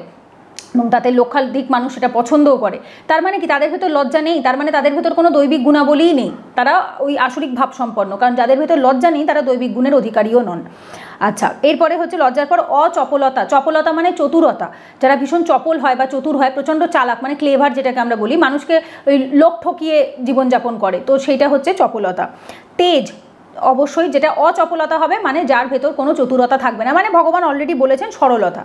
তো যদি কেউ অচপল হয়, সে অবশ্যই সরল হবে। সে নিষ্পাপ হবে, নিষ্কলঙ্ক হবে। তার ভেতর কোনো রকম কোনো চতুরতা থাকবে না, মানুষকে ঠকাবার টেন্ডেন্সি থাকবে না, সোজা সরল হবে, এরকমটাই হবে। আচ্ছা এরপর আসে তেজ। তেজ কি মানুষের যে ভালো মানুষ হবে না, তার একটা আলাদা লেভেলের তেজ থাকবে। তার কথাবার্তা, তার ব্যবহারে, তুমি বুঝতে পারবে, তার ভেতর থেকে একটা পজিটিভ ভাইবস পাবে। তার ভেতর থেকে তার কথাতেই যেন মানুষ মোটিভেট হয়ে যাবে। এইটাকে তেজ বলা হয়। যেটা ভগবানের দৈবিক গুণের মাধ্যমেই আসে এবং যারা ভগবানের ভক্ত হয়, তাদের ভেতর প্রত্যেকের ভেতরেই তেজ থাকে। কারণ তারা দেখবে অত্যন্ত রুগ্ন হয় চেহারায়। তারা মাছ, মাংস, ডিম ওসব খাচ্ছে না। খুব শুদ্ধ শাকাহারি, অল্প পরিমাণ খাবার খাচ্ছে, খুব রোগা হয়ে থাকে ভগবানের নাম জপ করছে, খুব শীর্ণকায় দেহ থাকে। কিন্তু তারা যদি একবার চোখ খুলেও তাকায়, আগেকার দিনে মুনি ঋষিরা যেরকম ছিলেন, চোখ খুলেও তাকায়, চোখের অগ্নিতে ভস্য হয়ে যাবে। যেরকম কালজবন যেভাবে ভস্য হয়েছিলেন, তো চোখের অগ্নিতেই তারা ভস্য হয়ে যাবে। কেন? বিকজ তাদের এই যে তপস্যা, এই যে ভালো গুণ, দৈবিক গুণের যে তপস্যাটা থাকে, সেই তপস্যার অত্যন্ত তেজ থাকে। এবং তেজ হচ্ছে ভগবানের প্রকাশ, ঠিক আছে? তো ভগবানের প্রকাশ হচ্ছে যেরকম সূর্যের তেজকে আমরা বলে থাকি, ভগবানের প্রকাশ। তো সুতরাং সেই দৈবিক গুণ যাদের মধ্যে থাকবে, তাদের থেকে মানুষ সবসময় প্রকাশিত হবে এনলাইটেড হবে। আচ্ছা এরপর ক্ষমা। ক্ষমা অ্যাকচুয়ালি মহান, মহানদেরই একটা গুণের মধ্যে পড়ে। এটা আমি ইউপিএসসিতে কদিন আগে স্টুডেন্টদেরকে এসে পেপারে বোঝাচ্ছিলাম। অ্যাকচুয়ালি ক্ষমা যেটা ফরগিভনেস এটা মানে ছোট মানুষদের নয়, এটা বড় মানুষদের, মহান যারা তাদের, ঠিক আছে? যারা নিকৃষ্ট মানসিকতা ন্যারো মাইন্ডেড তাদের জন্য ক্ষমা জিনিসটা নয়। তো আমাদের দেশ ভারত বরাবরই একটা মহান দেশ এবং যেখানে সবসময় মানুষকে ক্ষমা করতেই শেখানো হয়েছে এবং সেখানে আমরা সবসময় মানুষকে, আমাদের ধর্মও সবসময় মানুষকে ক্ষমা করতেই শিখিয়েছে। যতই সে যাই করুক না কেন হ্যাঁ ন্যায় বিচার একশোবার দেবো, কিন্তু তার সাথে সাথে মানুষকে ক্ষমাও করতে হবে। আমরা এমন একটা সনাতন ধর্মে জন্মগ্রহণ করেছি সেটা নিয়ে আমাদের একশোবার গর্ব অনুভব করা উচিত। যেখানে অন্যায়কারীকে একশোবার শাস্তি দেওয়া হয়, কিন্তু সেখানে ক্ষমার দৃষ্টিভঙ্গিতেই দেওয়া হয়। কাউকে খুব আহামরি কষ্ট দিয়ে মারা হয় না। দেখবে একটা জিনিস, আমাদের যখন কেউ কোনো অন্যায় করে, তাদেরকে ফাঁসির শাস্তি দেওয়া হয়। একবারে মেরে ফেলা হয়। কই, একটু একটু তর্পিয়ে তর্পিয়ে তো মারা হয় না? না, তুমি অন্যায় করেছ, তুমি শাস্তি প্রাপ্য তোমার ফাঁসির শাস্তি হবে। কিন্তু ক্ষমা করছি বলেই তোমাকে একবারে মৃত্যুদণ্ড দিয়ে দিচ্ছি। তোমাকে একটু একটু মেরে মেরে কষ্ট দিচ্ছি না। কারণ আমরা কি করি? ক্ষমার চোখে দেখি। যদি তুমি অন্যায়ও করে থাকো, সেটাও ক্ষমার চোখেই দেখা হবে। এবং আজকাল ইন্ডিয়ার থেকে অলমোস্ট বলতে গেলে ক্যাপিটাল পানিশমেন্ট উঠেই গেছে। যেটুকু আছে একেবারে নামমাত্র রয়েছে। মানে যে একদম খুব খারাপ কাজ করলে তবেই দেওয়া হয় আদারওয়াইজ দেওয়া হয় না। ঠিক আছে? তো ক্ষমা। এরপর আসে ধৈর্য। ধৈর্য অবশ্যই পেশেন্স ইজ ভেরি ইম্পর্টেন্ট যারা ভগবানের ভক্ত হয়, তাদের ভেতর অসীম পরিমাণ ধৈর্য থাকে। এর আগেও আমরা পড়েছি, ধৈর্যতা ভগবানের ভক্তদের মধ্যে প্রচুর পরিমাণে থাকে এবং আমরা সেটার সবথেকে ভালো উদাহরণ যদি আমরা বলি সেটা মীরাবাইকে দেখলে আমরা দেখতে পাই, ভক্ত মীরাবাই। তারপরে হচ্ছে ভক্ত প্রহ্লাদ মহারাজ। এরা প্রত্যেকে ধৈর্যের পরীক্ষা দিয়েছেন, প্রত্যেকে। এত পরিমাণ অত্যাচার। এই যে এখনকার দিনে মানুষের জীবনে একটু দুঃখ, আসতে না আসতেই ভগবান নেই। ভগবান নিষ্ঠুর, ভগবান নির্মম। আমার জীবনে এত খারাপ সিচুয়েশনের জন্য ভগবান দায়ী। অথচ তাদের জীবনে কি পরিমাণ একটার পর একটা পরীক্ষা, একটার পর একটা পরীক্ষা এসে গেছে, প্রত্যেকটা তারা মনে মনে জানতো, এগুলো আমার প্রারব্ধ। তারা প্রত্যেকে জানতো, কারণ ভগবানের যারা ভক্ত হন, দৈবিক গুণাবলীর হন, তারা জানে যে ভগ আমরা হয়তো মুখে বলি যেটা ভগবানের পরীক্ষা, ভগবান পরীক্ষা নিচ্ছেন, কিন্তু আমরা বাই হার্ট আমরা এটুকু জানি যেটা আমাদেরই প্রারব্ধ। আমরা আগের জন্মে কোনো না কোনো খারাপ কর্ম করেছিলাম, সেই জন্য ভগবান আমাদের এই খারাপ সিচুয়েশনে ফেলেছেন। এটা অনেকে ভগবানের পরীক্ষা রূপে দেখে, কেউ নিজের প্রারব্ধ রূপে দেখে। এবং যখনই আমরা নিজের প্রারব্ধ রূপে দেখব বা ভগবানের পরীক্ষা রূপে দেখব, যেটা রূপেই দেখি না কেন অটোমেটিক আমাদের ধৈর্য বেড়ে যাবে। আমরা ধৈর্য ধরতে শিখব যে একদিন ভালো সময় ঠিক আসবে, গোবিন্দ একদিন ঠিক কৃপা করবে। আজকে আমার প্রারব্ধ ক্লিয়ার হয়নি, ঠিক আছে, একবার হয়নি, দুবার হয়নি, পাঁচবার হয়নি, দশবার হয়নি, একটা টাইমে গিয়ে তো আমার প্রারব্ধ কমপ্লিট হবে। একটা টাইমে গিয়ে তো ভগবানের পরীক্ষা আমি ঠিক উত্তীর্ণ হব, তখন ঠিক ভালো সময় আসবে। তো এই এইভাবে দৈবিক গুণাবলীর মানুষটা কি করে? সবসময় ধৈর্যের পরীক্ষা দেন। আচ্ছা শৌচ অবশ্যই, শৌচ ইজ ভেরি ইম্পর্টেন্ট পরিষ্কার পরিচ্ছন্ন থাকতে হবে। আমরা যখন ঠাকুর ঘরে ঢুকি, আমরা কি আমিষ খাওয়া জামা কাপড়ে স্নান যদি ধরো কেউ বাথরুমে যায় টয়লেট পটিতে যায়, তখন সেই যে জামা কাপড় পরা থাকে, সেই জামা কাপড়ে আমরা কখনো ভগবানের কাছে যেতে পারি না বা মন্দিরে ঢুকতে পারি না পারি না। তো দ্যাট মিনস ভগবান যদি এইভাবে ভাবি যে ভগবান তো পৃথিবীর কোনায় কোনায় আছে, ভগবান তো স্বয়ং বলেছে, আমি তোমার হৃদয়ে বাস করি, তো দেহটা তো মন্দির, তো সুতরাং ভগবান যদি হৃদয়ে বাস করেন আর এই দেহটা যদি মানে হৃদয়ের ভেতরে, দেহের ভেতরে হৃদয় রয়েছে, ভগবান রয়েছেন, তো সুতরাং আমার দেহকে পরিষ্কার রাখতে হবে, শৌচ রাখতে হবে, মনকেও শৌচতায় রাখতে হবে। মন, দেহ, কারণ নাম জপের মাধ্যমে মন, আত্মা পরিষ্কার হয় এবং আমাদের যে স্নান করা, পরিষ্কার হওয়া, আমরা যে গায়ে সাবান দিচ্ছি, মাথায় শ্যাম্পু দিচ্ছি, এগুলোর মাধ্যমে আমাদের শরীরকে শৌচ রাখছি, পরিষ্কার রাখছি। মাৎসর্যহীনতা বা অদ্রোহ, যে দ্রোহ করে না যে বিদ্রোহ করে না সব কিছুর এই যে অনেকে থাকে না সব কিছুতে এগেনস্টে যাওয়া সব কিছুতে মোহ থেকে একটা, এটা কখন আসে? মানুষের যখন রাগ থাকে, মানুষের যখন কাম, ক্রোধ, লোভ এগুলো থাকে, তখনই তার ভেতরে দ্রোহিতা চলে আসে। তখন এবং ভগবান বলছে কি, এটার উল্টোটা মানে মাৎসর্যহীন, যার ভেতর কোনো মদ মাৎসর্য কিছু থাকবে না, ঠিক আছে? আচ্ছা এবং লাস্ট হচ্ছে অভিমান শূন্যতা। অনেকের থাকে প্রচণ্ড অভিমান, আমি অমুক, আমি তমুক, ঠিক আছে? এবং ভগবান, তারা ভগবদ্গীতা পড়েইনি, ভগবদ্গীতাতে ভগবান বলেছে, তিনটে গুণের ছাড়া, তিনটে গুণ ছাড়া, কর্মে আর কোনো কর্তাই থাকে না। এ যে নিজেকে কর্তা বলে মনে করে, তার মতো বোকা আর পৃথিবীতে কেউ নেই। আর এরা অভিমান শূন্যতা কি মানে এদের ভেতর অভিমান কেন থাকে? বিকজ যারা যারা উল্টোটা হয় আর কি, যারা আসরিক প্রবৃত্তির হয়, তারা অভিমান নিয়ে ভাবে, আমি করেছি আমি করেছি বাট না, আমরা কিচ্ছু করি না। যা করে কর্মের তিন, তিনটে গুণের মাধ্যমে সে করে থাকে। মানে শত রজতম যে তিনটে গুণ আমরা অলরেডি ক্লাসে পড়েছি, তো তারাই অ্যাকচুয়ালি আমাদের দিকে দিয়ে কর্ম করে। হ্যাঁ আর যারা ভগবানের ভক্ত হয়, তাদেরকে ভগবান ভগবান নিয়ন্ত্রণ করে, কারণ তাদেরকে তিনটে গুণ কখনো কন্ট্রোল করে না। কারণ তারা তখন তিনটে গুণের ওপরে ওঠার চেষ্টা করেন। ভগবানের ভক্তরা তিনটে গুণের ওপরে ওঠার চেষ্টা করেন এবং সেক্ষেত্রে যখন তারা মনে করে হাতটা, এই যে যার জন্য দেখবে আমরা কৃষ্ণ ভক্তরা সবাই এরকম করে প্রণাম করে। কৃষ্ণ ভক্তরা কেন হাত দুটো তুলে দেয়? কারণ আমরা হাত দুটো তুলে গোবিন্দকে ডাকি যে, গোবিন্দ, ভবসাগর থেকে আমাদেরকে ওপরে তোলো, কোলে নিয়ে আমাদেরকে ওপর থেকে এখান থেকে উঠিয়ে নাও। মানে এখানে আর থাকতে চাই না, হাত দুটো তুলে তোমার কাছে যেতে চাই। তো তার মানে কি, যখন আমরা বলি যে, আমরা তিনটে গুণের ওপরে উঠতে চাইছি, আমাদেরকে সাহায্য করে। এবং যখন কেউ উঠতে চায়, তখনই একমাত্র গোবিন্দ তাকে সাহায্য করে। নিজের প্রচেষ্টা ইজ ভেরি ইম্পর্টেন্ট ভগবানের কৃপা একশোবার আসে। প্রথমবার পাঁচ পা ভগবান এগোবে। কিন্তু ভগবান যদি দেখে যে, তুমি একটুও এগোচ্ছ না, তুমি ওই জিনিসটাকে ভগবানের কৃপা বলে মনেই করছ না, তখন তিনিও কিন্তু আর কোনো রকম কৃপা করবেন না। তো নিজের প্রচেষ্টা ইজ ভেরি ইম্পর্ট্যান্ট তো তার জন্য আমাদের কী করতে হবে? অভিমান শূন্যতায় থাকতে হবে। কোনো রকম অভিমান যেন না থাকে যে, না, আমার জিনিস আমি করেছি, না, যা করছে গোবিন্দর কৃপায় করছি। কে বলছে? গোবিন্দ বলছে। কার চ্যানেল গোবিন্দর চ্যানেল নাম প্রচার হচ্ছে কার? গোবিন্দর। আমার কিছু নেই এতে। তো এইটাকে অভিমান শূন্যতা বলা হয়। এই সমস্ত দিব্য গুণগুলি কাদের ভেতর থাকে? যারা দৈবিক সম্পন্ন মানুষ হন, তারা। আচ্ছা এরপরে আসব এটা যেহেতু তিনটে শ্লোক ছিল, ওই জন্য সময়টা অনেকটা বেশি লাগল, আমি জানি বাট দেখো শ্লোকটা অনেকটা বড়। কারণ কি বলতো, এই দৈবিক গুণগুলো না এইটুকুই অবধি রয়েছে। এরপর থেকে ভগবান অ্যাকচুয়ালি সমস্তটা আসরিক গুণের ওপরে ভগবান এমফাসাইজ করছেন যে, তোমাকে তো আমি এতক্ষণ দৈবিক গুণগুলো বোঝালাম, কারণ ভগবদ্গীতাতে ভগবান বেশিরভাগ দৈবিক গুণ অলরেডি আগেই বলে দিয়েছেন। ভক্তি যোগে বলো বা আদার্স যে চ্যাপ্টার বলো, সেগুলোতে ভগবান দৈবিক গুণের মানুষ, তার ভক্ত কেমন হবে সেটা অলরেডি উনি বলেছেন। বাট আসরিক প্রবৃত্তির মানুষ কেমন হয়, সেটা অর্জুন জানতে চাইছেন এবং এবার ভগবান বাকি যে শ্লোক রয়েছে চার নম্বর থেকে লাস্ট অবধি বেশিরভাগটা ভগবান আসরিক প্রবৃত্তিকে নিয়েই কথা বলেছেন। আচ্ছা এরপরে দেখো চার নম্বর শ্লোক। হে পার্থ, দম্ভ, দর্প, অভিমান, ক্রোধ, রূঢ়তা ও অজ্ঞান এই সমস্ত গুণ আসরিক ভাবাপন্ন ব্যক্তিদের লাভ হয়। আবারও বলছি। হে পার্থ, দম্ভ দম্ভ মানে অহংকার বা এবং অহংকারেরও একটা মানে হায়েস্ট লেভেল বলতে পারো। দম্ভর থেকেও অহংকার অনেক মানে সরি অহংকারের থেকেও দম্ভ আরও বেশি ওপরে। যাদের ওই যে বলে না, মাটিতে পা পড়ে না, মানুষকে প্রচণ্ড ছোট করে, দেখো একটা জিনিস বোঝাই। যখন কোনো সিচুয়েশান আসে যে কেউ তোমার সাথে কোনো খারাপ কথা বলছে, খারাপ ব্যবহার করছ, ওই টাইমে তুমি তাকে মুখের ওপর একটা জবাব দেওয়ার জন্য কোনো কথা বলছো দ্যাট ইজ অহংকার। যে সারাক্ষণ আমি অহংকার দেখাই না বাট যখন কেউ কিছু বলে, তাকে আমি একটা জবাব দিয়ে, উত্তর দিয়ে চুপ করিয়ে দিই দ্যাট ইজ অহংকার। আর অনেকে দম্ভ যেটা আনলিমিটেড থাকে, সব সময় থাকে। মানে ও তোমার কোনো উত্তর দেওয়ারও দরকার হবে না। না, আমি এটা যাই না, আমি না, আমি এখানে খাই না, আমি এর বাড়ি যাব না, আমি এটা বসবো না, করব না, এটা খারাপ, এটা আমার স্ট্যান্ডার্ডে নয়। দিস অল আর দম্ভ। যখন মানুষের দম্ভে মাটিতে পা পড়ে না, নিজের অর্থের দম্ভ থাকে, নিজের সমস্ত কিছু করার অহংকার অহংকার থাকে, কারণ তারা জানেই না, তারা জানেই না যে এই কর্তাটা সে নয়। কর্তা হচ্ছে কর্মে শুধুমাত্র তিনটে গুণ, ঠিক আছে? তো সেই জন্য ভগবান বলছেন দম্ভ, দর্প দর্প হচ্ছে অহংকারের মতোই, ঠিক আছে? দেখবে, শুনে থাকবে, অতি দর্পে হতালঙ্কা রাবণের অহংকারের জন্যই অ্যাকচুয়ালি লঙ্কার সমস্ত কিছু ধ্বংস হয়েছে। তো সেটাই হচ্ছে অতি এই যে দর্পটা দর্প ইজ লাইক আ এইখান থেকে দর্পণ কথাটা অ্যাকচুয়ালি আসে, এইভাবে মনে রাখবে, দর্প আর দর্পণ। দর্পণ মানে কি? দর্পণ মানে হচ্ছে আয়না। এবার আয়না যেরকম ভেঙে চুন চুন হয়ে যায়, একদম ভেঙে টুকরো টুকরো হয়ে যায়, হাত দিয়ে পড়ে গেলে, সেরকমই মানুষের অহংকারও তাই। মানুষ যখন ওই যে বলে না, অতিবার বেরোনা, ঝড়ে পড়ে যাবে মানে অতিরিক্ত যখন মানুষের অহংকার চলে আসে, অতিরিক্ত দর্প চলে আসে, সেটা চূর্ণ হবেই আয়নার মতো, কাচের মতো, ঠিক আছে? সো তারপরে আসে অভিমান। অভিমান হচ্ছে দেখো, অভিমান ইজ দুটো অভিমান। একটা হয় হচ্ছে মানুষের এক্সপেকটেশনস ফুলফিল না হলে দুঃখ হয়, সেই দুঃখ থেকে একটু অভিমান হয় দ্যাট ইজ ডিফারেন্ট অভিমান। বাট আরেকটা অভিমান হয় যে আমার অনেক কিছু আছে, আমি বড় লোক, আমার এই আছে, সেই আছে, সেই অভিমানে মানুষের মাটিতে পা পড়ে না। দ্যাট ইজ হচ্ছে অভিমান, এটা কাইন্ড অফ অহংকারের মতো। আর একটা অভিমান যেটা অনেক সময় হয় না, মায়েরা বকলে পরে আমরা গাল ফুলিয়ে বসে থাকি, দুঃখ হয়েছে, মা বকেছে বলে। দ্যাট ইজ একটা ছোট বাচ্চাদের যে অভিমান হয়। বাচ্চারা তো রাগ করা বোঝে না বাট বাচ্চাদের যদি কেউ বকে, দেখবে ওরা খুব কষ্ট পায়, গালটা ফুলিয়ে বসে থাকে। দ্যাট ইজ হচ্ছে অভিমান, ঠিক আছে?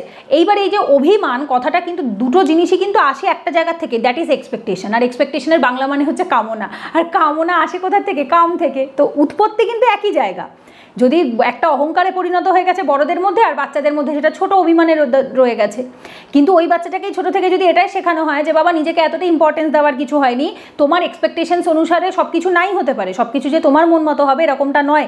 পৃথিবীতে অনেক মানুষ আছে তোমার মতো এবং তাদের সবার এক্সপেকটেশনস ফুলফিল হয় না। এইটা যদি শিখিয়ে বড় করা যায়, তাহলে ওর বড় হয়ে ওটা অভিমান বা অহংকারে পরিণতই হবে না। এরপরে আসে হচ্ছে ক্রোধ। ক্রোধ অলরেডি আমরা পড়েছি রাগ, যেটা মানে যারা আসরিক ভাবাপন্ন হয় তাদের মধ্যেই থাকে।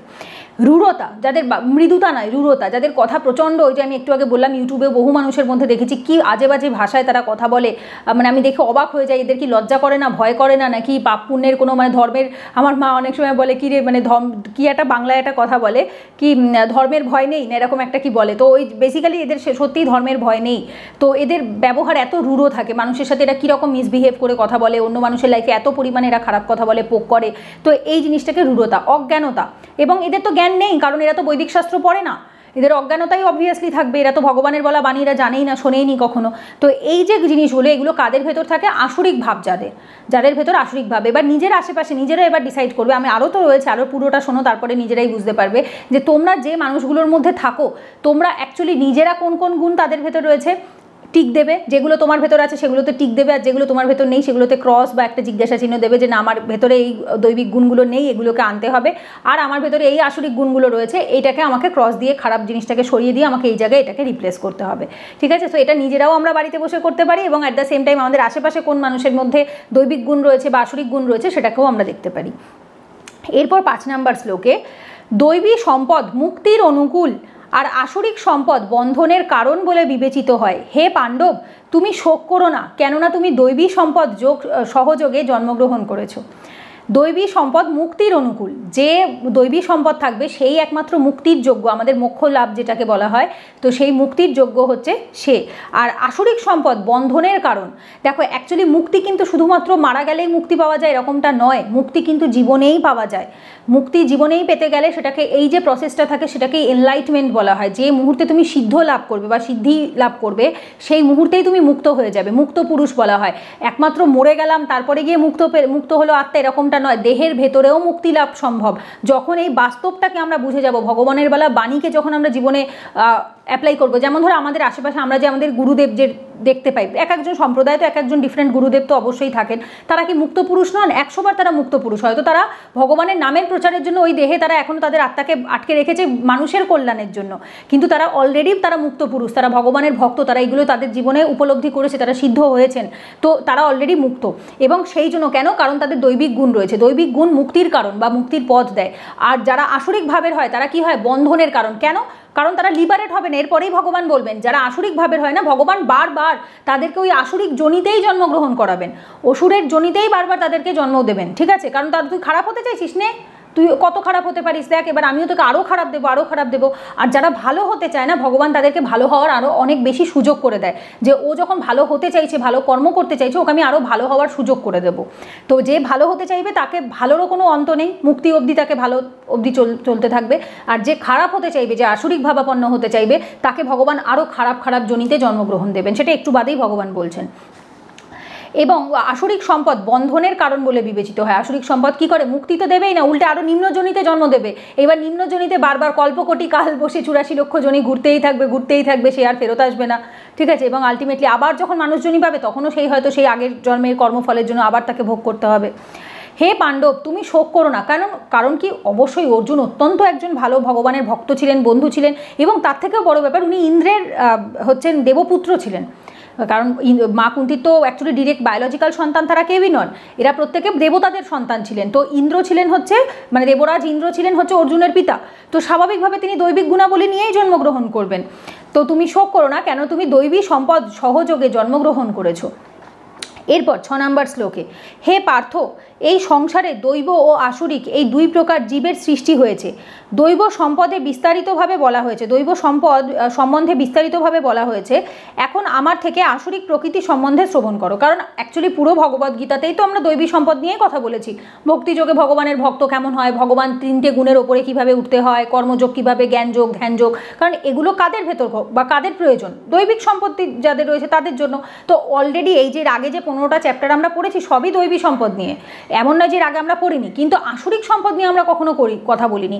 এইবার ভগবান অর্জুনকে আসরিক সম্পদ নিয়েও বলবেন।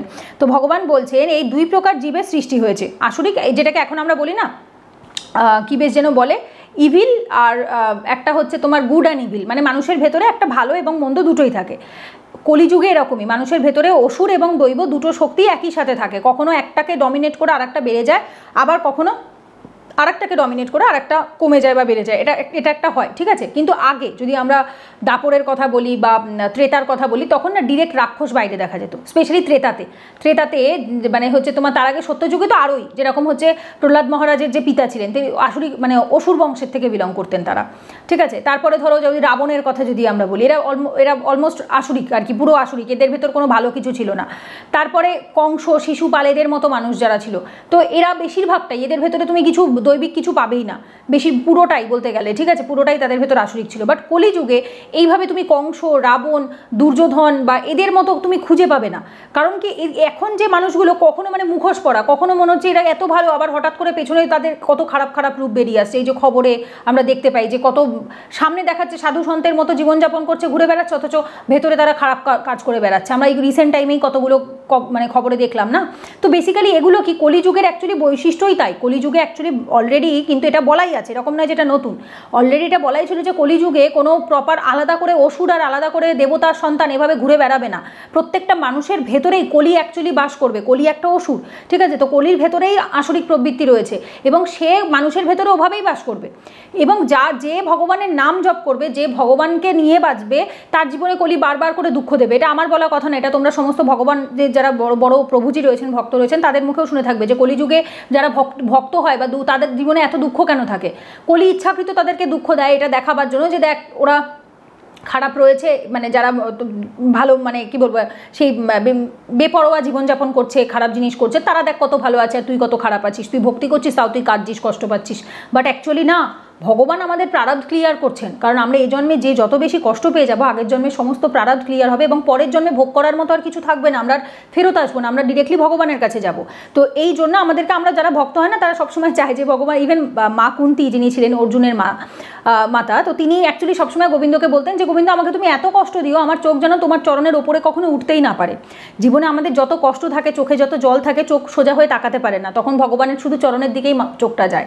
এবং তখন আমরা জীবনের আশেপাশে মোহ মায়ার দিকে আমরা ফিরেও তাকাই না। তখন আমরা ভাবি যে ভগবান ছাড়া আর কিছু পারমানেন্ট নেই, একমাত্র ভগবান জীবনে কষ্টই আমাদেরকে এটা শেখায় যে একমাত্র ভগবানই পারমানেন্ট বাকি সব টেম্পোরারি তো কেন? এটাতে আমার কি হবে? আমার অবশ্যই আমি গোবিন্দকে, ভগবানকেও ভালোবাসছি অ্যাট দ্য সেম টাইম আমার আগের জন্মের প্রারব্ধ আমার ক্লিয়ার হচ্ছে। যে যত বেশি কষ্ট পেয়ে যাবে, তার প্রারব্ধ ক্লিয়ার হতে থাকবে। এবং আগের জন্মের প্রারব্ধ যত কষ্ট পাবো, যত প্রারব্ধ ক্লিয়ার হবে, তত ভগবানের কাছে যাওয়ার সময় কমতে থাকবে, তত তাড়াতাড়ি ভগবানের কাছে পৌঁছতে পারব। তো এই যে জিনিসটা, তো স্বাভাবিকভাবে কি হয়? এটা কাদের ভেতর থাকে? যারা দৈবিক হয়। বাট আসরিকদের ভেতর কি হবে? তাদের ভেতরে অলরেডি এই উল্টোটা থাকবে, ঠিক আছে? আচ্ছা এরপরে দেখো এক সেকেন্ড উল্টে গেল না পেজটা? জাস্ট আ সেকেন্ড হ্যাঁ? আচ্ছা এটা অলরেডি বলেছি, হে পার্থ, এই সংসারে দৈব আসরিক দুই প্রকার জীবের সৃষ্টি হয়েছে এবং দৈব সম্বন্ধে অলরেডি ভগবান বলেছেন। এখন আমার থেকে আসরিক প্রকৃতি সম্বন্ধে শোনো। এইবার ভগবান বলবেন, আসরিক প্রকৃতির যারা হয়ে থাকে, তাদের ভেতর কি কি গুণাবলী দেখা যায় বা তারা কেমন টাইপের হন? আসরিক স্বভাব বিশিষ্ট ব্যক্তিরা ধর্ম বিষয়ে প্রবৃত্ত এবং অধর্ম বিষয় থেকে নিবৃত্ত হতে জানে না। তাদের মধ্যে শৌচ সদাচার ও সত সত্যতা বিদ্যমান থাকে না। আসরিক স্বভাব বিশিষ্ট ব্যক্তিরা ধর্মের বিষয়ে প্রবৃত্ত হতে যায় না। মানে তাদের ধর্মের ব্যাপারে কোনো ইন্টারেস্ট নেই। সে আমার মা বলে, চোরে না শুনে ধর্মের কাহিনী। তো অ্যাকচুয়ালি তাই। তো তুমি কোনো মানুষকে যে যার যে বিষয়টাতে মানে ওই জিনিসটা তো ওর জন্য নয় ওকে যদি তুমি বসে ধর্মের কাহিনী বলো, ও বলবে, দূরে, এসব কে শুনবে? তো শুনবে না, তো প্রবৃত্ত হবে না ধর্মের বিষয়। অধর্মের থেকে নিবৃত্ত হতে পারে না। তারা খারাপ কাজ থেকে নিজেদেরকে কিছুতেই আটকাতে পারে না। ওই যে সেই অর্জুন জিজ্ঞেস করেছিল যে, কেন মানুষ অসহায়ভাবে পাপাচারে নিবৃত্ত হয়, পাপাচারে কেন মানুষ যুক্ত হয়? তখন ভগবান কি বলেছিলেন? রজগুণ থেকে কামের উৎপত্তি, কাম থেকে ক্রোধের উৎপত্তি, ক্রোধ মানুষকে পাপকর্মে লিপ্ত করে। তো তার মানে অ্যাকচুয়ালি তারা নিজেদেরকে অসহায়ভাবে, তারা চাইলেও যেন নিজেদেরকে ওখান থেকে নিবৃত্ত রাখতে পারে না। কনস্ট্যান্টলি তারা ওই কাজে ইনভলভ হয়ে যায়। তারা পাপ কাজে বারবার করে ইনভলভ হয় এবং ধর্মের কাজে তারা ইনভলভই হতে পারে না। তারা সবসময় অধর্মে ইনভলভ হয়। যেমন ওই সব থেকে বড় এক্সাম্পল যেটা মাথায় আসছে এই মুহূর্তে দুর্যোধন। দুর্যোধন কি বলতেন? আমি জানি আমি যেটা করছি ভুল করছি। আমি জানি এটা অন্যায় বাট আমি নিজেকে কন্ট্রোল করব না। আমি জানি আমি অন্যায় করছি বাট আমি করব। আচ্ছা কর্ণ কি বলতেন? আমি জানি আমার বন্ধু ভুল করছে, কিন্তু তাও আমি তার থেকে সরতে পারব না বিকজ কেন? সে আমাকে রাজত্ব দিয়েছিল। একটা টাইমে আমার পাশে কেউ ছিল না, তো এখন আমি যখন সে আমাকে সব কিছু দিয়ে দিয়েছে, আমি বন্ধুর সাথে বেইমানি করতে পারব না। সবাই প্রত্যেকে কোনো না কোনো মেটেরিয়াল কারণে, দেখো কর্ণ যেটা পেয়েছিল সেটা মেটেরিয়াল জিনিস ছিল দুর্যোধনও যে কারণে লড়াই করছিল সেটাও মেটেরিয়াল জিনিস ছিল, কংস নিজেকে বাঁচাবার জন্য করছিল, সেটাও এক প্রকার মেটেরিয়াল কারণ সে এই দেহটা তো এক প্রকার মেটেরিয়াল দিয়েই তৈরি। স্পিরিচুয়াল তো দেহ নেই আমাদের আমাদের চিৎজগতের দেহ তো এখনই আমাদের কাছে নেই। তো কংসেরও যে দেহ ছিল, সেটাও একটা জাগতিক দেহ ছিল। তো প্রত্যেকেই জাগতিক জিনিসের জন্যই লড়াই করে যাচ্ছিলেন। তো এরা প্রত্যেকেই যে আশেপাশে, এই যাদের নামগুলো নিলাম, এরা প্রত্যেকে হচ্ছে আসরিক সম্পদের ছিলেন। ঠিক আছে? এবং কর্ণের মধ্যে দৈবিক সম্পদ থাকা সত্ত্বেও আসরিক সম্পদের মানুষকে সাপোর্ট দেওয়ার জন্য, তার পাশে থাকার জন্য তার দৈবিক জিনিসগুলো অনেক সাবডিউড হয়ে গেছিল বা মানে কি বলব ডমিনেটেড হয়ে গেছিল, তার খারাপটা বেশি বেড়ে গেছিল। আচ্ছা এরপরে তাদের মধ্যে শৌচ সদাচার ও সত্যতা বিদ্যমান থাকে না। এরা না শৌচতা মেনটেন করে, না এরা পরিষ্কার পরিচ্ছন্ন থাকে, না এরা সদাচার। এদের আচরণ মোটেই ভালো নয়, সদাচারও নয়। সৎযুক্ত আচার, এদের আচরণ সদাচার নয় এবং সত্যতা, এরা সবসময় মিথ্যে কথা বলে। আশেপাশে যে মানুষদেরকে দেখো না মিথ্যে কথা বলে, তারা অ্যাকচুয়ালি আসরিক প্রবৃত্তির হয়ে থাকে। যারা দেখো অনেক নোংরা হয়ে থাকে, পরিষ্কার পরিচ্ছন্ন থাকে না, পরিষ্কার পরিচ্ছন্নতা মেনটেন করে না, আমি এরকম অনেক মানুষকে দেখেছি। বলতে খুব লজ্জার বিষয়, আমি কারোর নাম বলছি না, যে কি বলব, স্নান না করে পটির জামা কাপড় চেঞ্জ না করে ভগবানের জিনিস ছুঁচ্ছে, ঘরে ঘুরে বেড়াচ্ছে, রান্নাঘরের জিনিস ধরছে that is very bad very bad তো এই যে প্রবৃত্তিটা, এটা আসরিক প্রবৃত্তি, এটা দৈবিক প্রবৃত্তি নয়। আচ্ছা এরপরে সাত নম্বরের পর আট নম্বর শ্লোক। আসরিক স্বভাব বিশিষ্ট ব্যক্তিরা বলে যে, এই জগৎ মিথ্যা অবলম্বনহীন ও ঈশ্বরশূন্য। পারস্পরিক কামবশত এই জগৎ উৎপন্ন হয়েছে এবং কাম ছাড়া আর অন্য কোনো কারণ নেই, যেটাকে নাস্তিক ফিলোসফিতে বলা হয়ে থাকে। নাস্তিক ফিলোসফি, ঠিক আছে? জগৎ মিথ্যে। নাস্তিক ফিলোসফিতে বলা হয় জগৎ মিথ্যে কোনো ভগবান নেই। নাস্তিকরা বলে থাকে ভগবান বলে কেউ হয় না। বেদকে এরা অস্বীকার করে, ভগবানকে অস্বীকার করে, এরা সমস্ত কিছুকেই অস্বীকার করে এবং করে বলে যে পারস্পরিক কাম বশত। মানে একে অপরের সাথে সেন্সুয়াল প্লেজারে অ্যাকচুয়ালি অ্যাটাচ হয়েছে এবং যার ফলে সন্তানের জন্ম হয়েছে এবং সেই হিসেবে পৃথিবী এগোচ্ছে। এরা ভগবানের যে ক্রিয়েশন সেটাকে এরা বিশ্বাস করে না। তো আশেপাশে যদি কোনো মানুষকে, নাস্তিক মানুষকে দেখো, তাদের সাথে থেকে যতটা পারবে দশ দূরে থাকারই চেষ্টা করবে। এবং আমার নিজেরও এরকম বেশ কয়েকটি স্টুডেন্ট ছিল। অ্যাকচুয়ালি আমি যেহেতু স্টুডেন্ট পড়া ব্যাচ পড়াই, তো যার জন্য আমার বহু টাইপের মানুষের সাথে পরিচয় হয়, বহু ধরনের মানুষের সাথে। বুঝতেই পারছ মানে এতদিনে লাস্ট পাঁচ বছরে দশ, দু হাজার, তিন হাজার ছেলে মেয়ে পড়িয়েছি। এবার স্বাভাবিকভাবে অনেক ধরনের অদ্ভুত অদ্ভুত মানুষ থাকে। যার ভেতর কিছু স্টুডেন্ট ছিল যারা মারাত্মক লেভেলের নাস্তিক। এবং তাদের পোস্ট বলো, আমার ভিডিওতে এসে কমেন্ট করা বলো, সেগুলো দেখে আমি প্রচণ্ডভাবে বুঝতে পারতাম এবং আমি এদেরকে প্রত্যেকে ইদার ব্লক করে দিয়েছি অথবা আমি মিউট করে দিয়েছি, না, এরা আমার স্টেটাস দেখতে পায় না, আমি এদের স্টেটাস দেখতে পাই। তো জীবনে এরকম লোক রাখারই দরকার নেই। যারা ভগবানের নিন্দা করে এবং ভগবানের নামে খারাপ কথা বলে বা ভগবানের অস্তিত্বকেই অস্বীকার করে, সেরকম ধরনের মানুষের সাথে যোগাযোগ রাখাই উচিত নয়। এবং এটা শাস্ত্রতেই বলা আছে যে, গোবিন্দ নিন্দুকের সাথে থেকে সে যদি নিজের বাড়ির লোকও হয় বাবা মাও হয়, তাকে অবধি ত্যাগ করা যায়।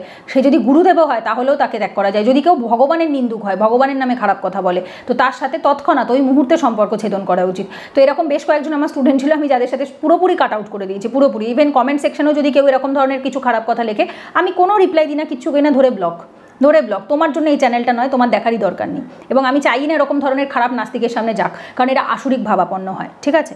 এই জগৎ মিথ্যা, অবলম্বনহীন জগতের কোনো অবলম্বন নেই, এটা সম্পূর্ণ ভুল কথা, আমাদের একমাত্র অবলম্বন গোবিন্দ, ভগবান এবং ঈশ্বর শূন্য না, এটা সম্ভবই নয়। ঈশ্বর শূন্য হলে আমরা বেঁচেই থাকতাম না।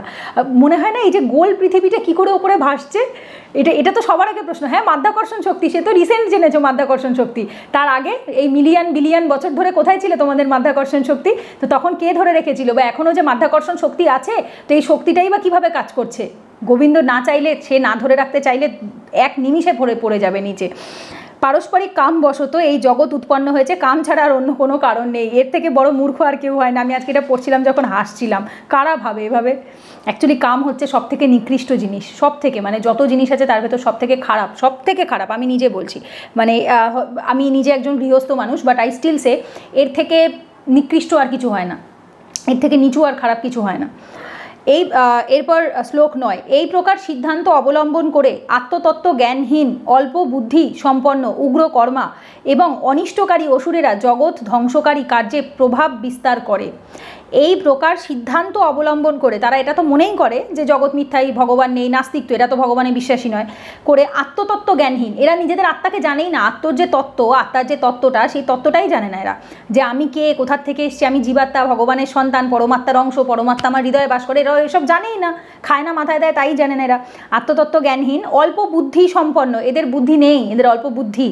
উগ্র কর্মা এদের যে কর্মটা উগ্রতার সাথে থাকে, ঠিক আছে? উগ্র উগ্র মানে খুব অ্যাগ্রেসিভ মোডে থাকে এরা। প্রচণ্ড ওষুধ যারা অবভিয়াসলি অ্যাগ্রেসিভ হবে না। আমরা এই যে যত ওষুধ দেখতে পাই, কদিন আগে দুর্গাপুজো গেল, মহিষাসুরকে দেখলাম, থরি এ নমনীয় ছিল, তো উগ্রই ছিল। আচ্ছা অনিষ্টকারী এরা সবসময় খারাপ করে। কোনোদিনও দেখেছ কোনো অসুর কারোর ভালো করেছে? এই যে কলিযুগেও যে আশেপাশে যেগুলো আমরা ঘটনা দেখতে পাচ্ছি, এই যে মার্ডারাররা রেপিস্টরা এরা কি? এরা এক একজন অসুর, এরা উগ্রকর্মা, এরা এরা অনিষ্টকারী, এরা কোনোদিনও কোনো কার মানুষের উপকারে এসছে, কোনো কাজে এসছে? না, এরা অ্যাকচুয়ালি অনিষ্ট করছে। এই ভেবে দেখুন এই যে ঘটনাগুলো আমরা যে রিসেন্ট লাস্ট তিন মাস, চার মাসে দেখতে পাচ্ছি খবরে, এরা এক একজন মানুষ রূপে ঘুরে বেড়াচ্ছে। কেউ ডাক্তার রূপে ঘুরে বেড়াচ্ছে, কি অদ্ভুত না ব্যাপারটা? অথচ দেখো এরা প্রপার ওষুধ প্রপার মানে এরা যদি সত্যযুগে জন্মগ্রহণ করতে, এরা পুরো একেবারে সেই দুটো শিং আর দু চারটে দাঁত নিয়ে বাইরে বার করে ঘুরে বেড়াতো। বাট অ্যাকচুয়ালি আমরা এদেরকে, অথচ সামনে দেখো এরা পুরো মানুষের মতো লুক নিয়ে ঘুরে বেড়াচ্ছে। ওইটাই অ্যাকচুয়ালি সত্যযুগের অসুর আর মানুষকে চেনা যেত, এদের দুটো ডিফারেন্ট বাট কলিযুগে সেটা যায় না, কলিযুগে সব মুখোশ পরা থাকে। অসুরেরা জগৎ ধ্বংসকারী কার্যে প্রভাব বিস্তার করে, জগৎকে ধ্বংস করার চেষ্টা করে। এর আগেও আমরা যতবার দেখেছি, এই হিরণ্যকেশুপু বলো বা হিরণ্যাক্ষ বলো, এরা প্রত্যেকে, এরা যে অসুররা ছিল, এরা প্রত্যেকে জগৎকে ধ্বংস করারই চেষ্টা করেছে। যদিও তারা অভিশাপের জন্যই ওটা জন্মজনী প্রাপ্ত হয়েছিল বাট অ্যাকচুয়ালি তারা ভগবানের পার্শ্বদ জয়, বিজয় বাট স্টিল যখন তারা অসুরজনী প্রাপ্ত করেছে, তখন তারা অবশ্যই ধ্বংস করারই চেষ্টা করেছে জগৎকে। ঠিক আছে, তো সে যে, যত বড়ই হোক না কেন, কর্মের ফল সবাইকে ভোগ করতে হয়। একবার চিন্তা করে দেখো, ভগবানের পার্শ্বদ, সে অবধি তিনবার অসুর জন্ম গ্রহণ করেছে। তারপরে গিয়ে লিবারেট হয়ে আবার ভগবানের কাছে গেছে। তো কর্মের ফল ইজ ভেরি মানে ডেঞ্জারাস যে যাই করো কর্মা ইজ মানে কি বলব মানে রিভার্স ব্যাক হবেই। তুমি যা করবে, সেটা ফল ভোগ করতে হবে। আচ্ছা এরপরে দশ নম্বর শ্লোক, এটা গেল নয়। এরপর দশ নম্বর শ্লোকে ভগবান বলছেন, আসুরিক ব্যক্তিগণ দুষ্পূরণীয় কামকে, দুষ্পূরণীয় মানে যেটা পূরণ করা যায় না, দুষ্পূরণীয়। দুষ্পূরণীয় কামকে আশ্রয় করে দম্ভ ও মানের দ্বারা মদমত্ত হয়ে অসুচি কার্যে ব্রতী হয় এবং মোহবশত অসৎ বিষয়ে প্রবৃত্ত হয়। আসরিক ব্যক্তিগণ দুষ্পূরণীয় কামকে কখনো পূরণ করা যায় না। কাম এমন একটা জিনিস, এটা শুধুমাত্র সেক্সুয়াল প্লেজারকে ভেবো না, কাম হচ্ছে কামনা। এই যে ভালো খাব, ভালো পরবো, ভালো বাড়ি, ভালো গাড়ি, ভালো জামা এটা থাকবে, ওটা থাকবে দিস অল আর কাম। সমস্ত কিছুই অ্যাকচুয়ালি কাম। কিন্তু হ্যাঁ অনেকেই এর ভেতরেও থেকে অনেকে নিজেদেরকে ডিটাচ রাখতে পারে। যখন তুমি বুঝে যাবে যে এগুলো কিছুই আমার নয়। এগুলো সব ভগবানের দান, এগুলো আমার কিচ্ছুটি নয়। হ্যাঁ আমার মাথার ওপর কি ছাদ নেই? একশো বার আছে। আমি কি চারবেলা তিনবেলা খাই না? একশো বার আছে। কিন্তু আমি জানি এটা গোবিন্দর কৃপা, এটা আমার কোনো কিছু নেই এবং এটা আমার পাওয়ার জন্য আমার কোনো চিন্তাও থাকে না। কোনো চিন্তাও থাকে না যে না, আমার এই মাথার ওপর ছাদটা চলে যাবে না তো ওভার থিঙ্কিং করা হয়, আমার মাথার ওপরে ফ্যানটা খুলে পড়বে না তো, আমার খাবারে কেউ বিষ মিশিয়ে দেবে না তো, এগুলো ওভার থিঙ্কিং করার না, আমি জানি গোবিন্দর প্রসাদ খাচ্ছি, গোবিন্দর বাড়িতে থাকছি, আমার কি হবে? আমার, আমি গোবিন্দর ভক্ত। এই যে নিশ্চিন্ততাটা, এটা একজন ভক্ত যদি বাড়িতেও থাকে, সে যদি বাকি সমস্ত ইন্দ্রিয়ের জিনিসের মধ্যেও থাকে, তারপরেও সেই জিনিসগুলো তাকে ছুতে পারে না। কারণ আমরা তো এই কলিযুগে দাঁড়িয়ে সবাই সন্ন্যাস জীবন নিয়ে একেবারে বনে চলে যেতে পারছি না। সেই সুযোগ আমাদের কাছে নেই এই মুহূর্তে সবার কাছে। হ্যাঁ যদি ভগবানের কৃপা হয়, ভবিষ্যতে হয়, সেটা ডিফারেন্ট বাট এই মুহূর্তে তো আমার কাছেও নেই বা তোমার, তোমরা যারা ক্লাস দেখছ তাদের কাছেও নেই। কিন্তু আমরা সংসারেই থাকি, সংসারী মানুষ, সংসারের প্রত্যেক দিনের কাজ করতে হয়। কিন্তু তার ভেতরেও আমরা কি করি, সেই জিনিসগুলোকে মেনটেন করার চেষ্টা করি, ভগবানের ভক্তিতে থেকে মেনটেন করি। তো আমরা কি করি? এখানে বলছে ভগবান যে যারা আসরিক হয়ে থাকে তারা কামকে পূরণ করার চেষ্টা করে, আশ্রয় করে, দম্ভ ও মানের দ্বারা, তাদের ভেতর প্রচণ্ড অহংকার যে আমার সব কিছু যেমন এই যে দুর্যোধন সব কিছু আমার আমার আমার ছাড়া কেউ নেই, ধৃতরাষ্ট্র আমার ছেলেরা পাবে। অথচ দেখো পাণ্ডু নিজের মানে যে অর্জুনদের মানে পণ্ড পঞ্চপাণ্ডবের যিনি বাবা, তিনি সমস্ত কিছু ত্যাগ করে বনে চলে গেলেন, নিজের সমস্ত কিছু ত্যাগ করে। ভগবান শ্রীরামচন্দ্র, তিনি সব কিছু ত্যাগ করে চলে গেলেন। তো দৈবিক গুণের মানুষরা এরকমই হয়। ভগবানও যখন মানুষ রূপে অবতরণ করেন, তখনও তিনি সে সেটারই মেসেজ দেন বা দেবতাদের সন্তানরাও যখন কোনো কর্ম করছেন, তারাও এই সেম মেসেজটাই দিচ্ছেন যে ত্যাগের ভেতরেই, ক্ষমার ভেতরেই অ্যাকচুয়ালি সমস্ত দৈবিক গুণ রয়েছে। যে আমার আমার করার ভেতরে কোনো গুণ নেই। এই কংস বলো, কংস নিজের প্রাণ বাঁচাতে চাইতো, দুর্যোধন নিজের রাজ্য রাজ্য বাঁচা রাজত্ব পেতে চাইতো, ধৃতরাষ্ট্র নিজের ছেলেদেরকে সমস্ত কিছু দিতে চাইতো, এরা সব কিছু নিজের। এরা সব কিছু নিজের জন্য থাকবে, আমার জন্য থাকবে আমাকে ভগবান ভাববে, লোকে আমাকে রাজা বলবে। এই যে জিনিসটা, এইটাই অ্যাকচুয়ালি আসরিক প্রবৃত্তি মানুষের মধ্যে থাকে। যারা কাইন্ড অফ বলতে পারো, এখন বর্তমান যুগে যারা ওই যে নাম ফেম টাকা এইগুলোর পেছনে এবং সেটা পাওয়ার জন্য অনেকে তো থাকে সৎ পথে কর্ম করছে, সেইখান থেকে অটোমেটিক পাচ্ছে। কেন পাচ্ছে না? আমি রতন টাটাজির কথা যদি বলি, আব্দুল কালাম স্যারের কথা যদি বলি, এরা প্রত্যেকে নাম ফেম টাকা সব কিছু পেয়েছে, কিন্তু তাদের ভালো কর্মের জন্য পেয়েছে। মানুষ ভালোবাসা দিয়ে তাদেরকে চিনেছে, তাদের ভালো ব্যবহারের জন্য মানুষ চিনেছে। তারা কিন্তু টাকার পেছনে ছোটেনি। তারা যখন ভালো কর্ম করেছে অটোমেটিক মা লক্ষ্মী তাদের পেছনে চলে এসছে। তো এই যে জিনিসটা, এইটা বুঝতে হবে যে দেয়ার ইজ এ ডিফারেন্স যে যে নিজে ওটার পেছনে ছুটছে এবং ছোটার জন্য সে মানুষ পদের অপব্যবহার করছে। সে আসরিক সে আসরিক। কিন্তু যে নিজের কর্ম করছে সৎপথে থেকে এবং অটোমেটিক তার জন্য সে সব কিছু পাচ্ছে, সে মোটেই আসরিক নয়। সে একশো বার দৈবিক। তুমি যদি যে কোনো কর্ম করো, অবশ্যই তার জন্য তুমি অটোমেটিক বাকি সব কিছুই পেয়ে যাবে। কিন্তু সেটা আসরিকভাবে নয়। আচ্ছা এরপরে মানের দ্বারা মদমত্ত হয়ে অসুচি কার্যে ব্রতী হয় এবং স্বাভাবিক মদমত্ত মানে নেশার ঘোর, এটা একটা অ্যাডিকশনের মতো কাজ করে। কামনা বা কাম এমন একটা জিনিস, এটা একটা অ্যাডিকশান তুমি যতই চেষ্টা করো না কেন ওকে পূরণ করার কখনোই ওর এক্সপেকটেশনস ফুলফিল হয় না। এবং মোহবশত অসৎ বিষয়ে প্রবৃত্ত হয়, কারণ এটা তো মোহের ভেতর ইলিউশনের ভেতর পুরো আটকে রয়েছে। এবং স্বাভাবিকভাবে এরা কী করছে, অসৎ কার্য, খারাপ কার্যের মধ্যে এরা নিজেদেরকে যুক্ত করছে। ওই যেটা বললাম, কর্ম তো আমরা প্রত্যেকে করি, কর্ম করার ফলে অটোমেটিক্যালি নাম ফেম টাকা এই তিনটে হচ্ছে ওই কাইন্ড অফ বলতে দুধে ভাতে বা যে কোনো জিনিসের লেজুরের মতো ওর তুমি এমনিই পাবে। সে ভালো কাজ করলেও পাবে, খারাপ কাজ করলেও পাবে। ভালো কাজের জন্য মানুষ কে মানুষ চেনে, খারাপ কাজ যেমন তুমি লাদেনকেও চেনো। বাট সে তো খারাপ কাজের জন্য, নটোরিয়াসের জন্য মানুষের, মানুষ তার নামটা জানে। আবার ভালো কাজের জন্যও মানুষ মানুষের নাম জানে। যেমন আমি এইমাত্র দুজনের এক্সাম্পল বললাম। তো মানুষ মানুষকে যে নাম ফেম টাকায় তিনটে জিনিসের জন্য পেছনে কেউ ছুটতে লাগে না। এটা মানে সব থেকে মূর্খরা ছোটে এই তিনটে জিনিসের পেছনে। মানুষ যদি সৎ পথে কর্ম করে, সে অটোমেটিক এগুলো এমনিই পাবে। বাট এটাই বোঝে না কারা আসরিক ভাবাপন্ন যারা। এরপর এগারো বারো দুটো শ্লোক একসাথে। অপরিমেয় দুশ্চিন্তার অপরিসীম সরি অপরিসীম দুশ্চিন্তার আশ্রয় গ্রহণ করে মৃত্যুকাল পর্যন্ত ইন্দ্রিয় সুখ ভোগকেই তারা তাদের জীবনের চরম উদ্দেশ্য বলে মনে করে। এভাবে শত শত আশে আশাপাশে আশাপাশে আবদ্ধ হয়ে এবং কাম ও ক্রোধ পরায়ণ হয়ে তারা কাম উপভোগের জন্য অসৎ উপায়ে অর্থ সঞ্চয়ের চেষ্টা করে, যেটা আমি এইমাত্র বললাম। ঠিক আছে? আবারও বুঝিয়ে দিচ্ছি। অপরিসীম দুশ্চিন্তার আশ্রয় গ্রহণ করে। দেখবে প্রচণ্ড ওভার থিঙ্কিং করে। আজকে আমার এত টাকা লাগবে, কালকে আমার অত টাকা লাগবে, এই টাকাটা দিয়ে আমি কী করে এটাকে আরও দশ গুণ বাড়াবো, ওটার থেকে আমি আরও কী করে এটা থেকে আরও পাঁচ গুণ বাড়াবো? এরা সারাক্ষণ সারাক্ষণ মেটেরিয়াল জিনিসের কথাই ভেবে যাচ্ছে। সারাটা দিন তারা ভেবে যাচ্ছে, দুশ্চিন্তা করে যাচ্ছে। এরপরে কি হবে? আমি নিজে আশেপাশে এরকম লোক দেখতে পাই, আমি কারোর নাম বলছি না। অ্যাকচুয়ালি আমার আশেপাশে না আমি মানে ভক্ত কাউকে দেখতেই পাই না, আমার আশেপাশে কোনো ভক্তই নেই, আমার নিজের পরিবারের ভেতরেও নেই। আমার মা ভক্তি করে বাট আমার মা এগুলোর সব কিছুর ওপরে। আমার মা না আমার মতো ভক্তি নিয়ে আলোচনা করে, না মেটেরিয়াল জগৎ নিয়ে ভাবে। আমার মা ওইসবের কোনো ব্যা- ব্যাপারই নেই, সে গোপুরকে নিয়েই, সে ওইটুকু নিয়েই মতো আদারওয়াইজ আমি যদি আমার মা আর আমার কথা বাদ দিই, বাকি যে আশেপাশে আমি আমার আত্মীয় স্বজনের মধ্যে বন্ধু বান্ধবের মধ্যে যেসব লোকজন দেখতে পাই, সবাই আমার ছেলে, আমার মেয়ে, তারা ভবিষ্যতে এই করবে, তাদের টাকা দিয়ে এটা হবে, ওইটা হবে, তারা সারাটা দিন টাকা পয়সা নিয়ে দুশ্চিন্তা করে যাচ্ছে, সারাটা দিন। এবং এইটা কি করছে, এটা তারা মৃত্যুর কাল অবধি করে যাচ্ছে। করে আলটিমেটলি কি, আশ্রয় গ্রহণ করে মৃত্যু কাল পর্যন্ত ইন্দ্রিয় সুখ ভোগকেই তারা জীবনের চরম লক্ষ্য বলে মনে করে থাকে। তারা ভাবে যে আমার সন্তান ভালো স্কুলে পড়বে, ভালো খাবার খাবে, ভালো এই করবে, আমি ভালো জায়গায় থাকব, আমার এত টাকা থাকবে, এত ব্যাংক ব্যালেন্স থাকবে, সেই টাকা দিয়ে আমি জীবনে একটা নিশ্চিন্ত জীবন কাটাবো, এরা ওটা নিয়েই ভাবছে। ওটা নিয়েই ভাবছে। বাট বুঝতে হবে যে একজন ভক্তের মধ্যে আর একজন অভক্তের মধ্যে পার্থক্য এটাই। কেন? এমন নয় যে আমাদের জীবনে কি টাকা নেই একশো বার তাহলে আমরা গোপাল সেবা করি, জিনিস কি আমাদের দোকান থেকে ফ্রিতে দেয়? আমরা যে খাবারটা খাই সেটা কি ফ্রিতে দেয়? না বাট আমরা এটা নিয়ে ভাবিই না। এটা আমাদের মাথাতেই আসে না। আমরা জানি হরি ঠিক জোগাড় করে নেবে। মুখ দিয়েছে যিনি, অন্ন যোগাবে তিনি, ভগবান ঠিক জোগাড় করে দেবে।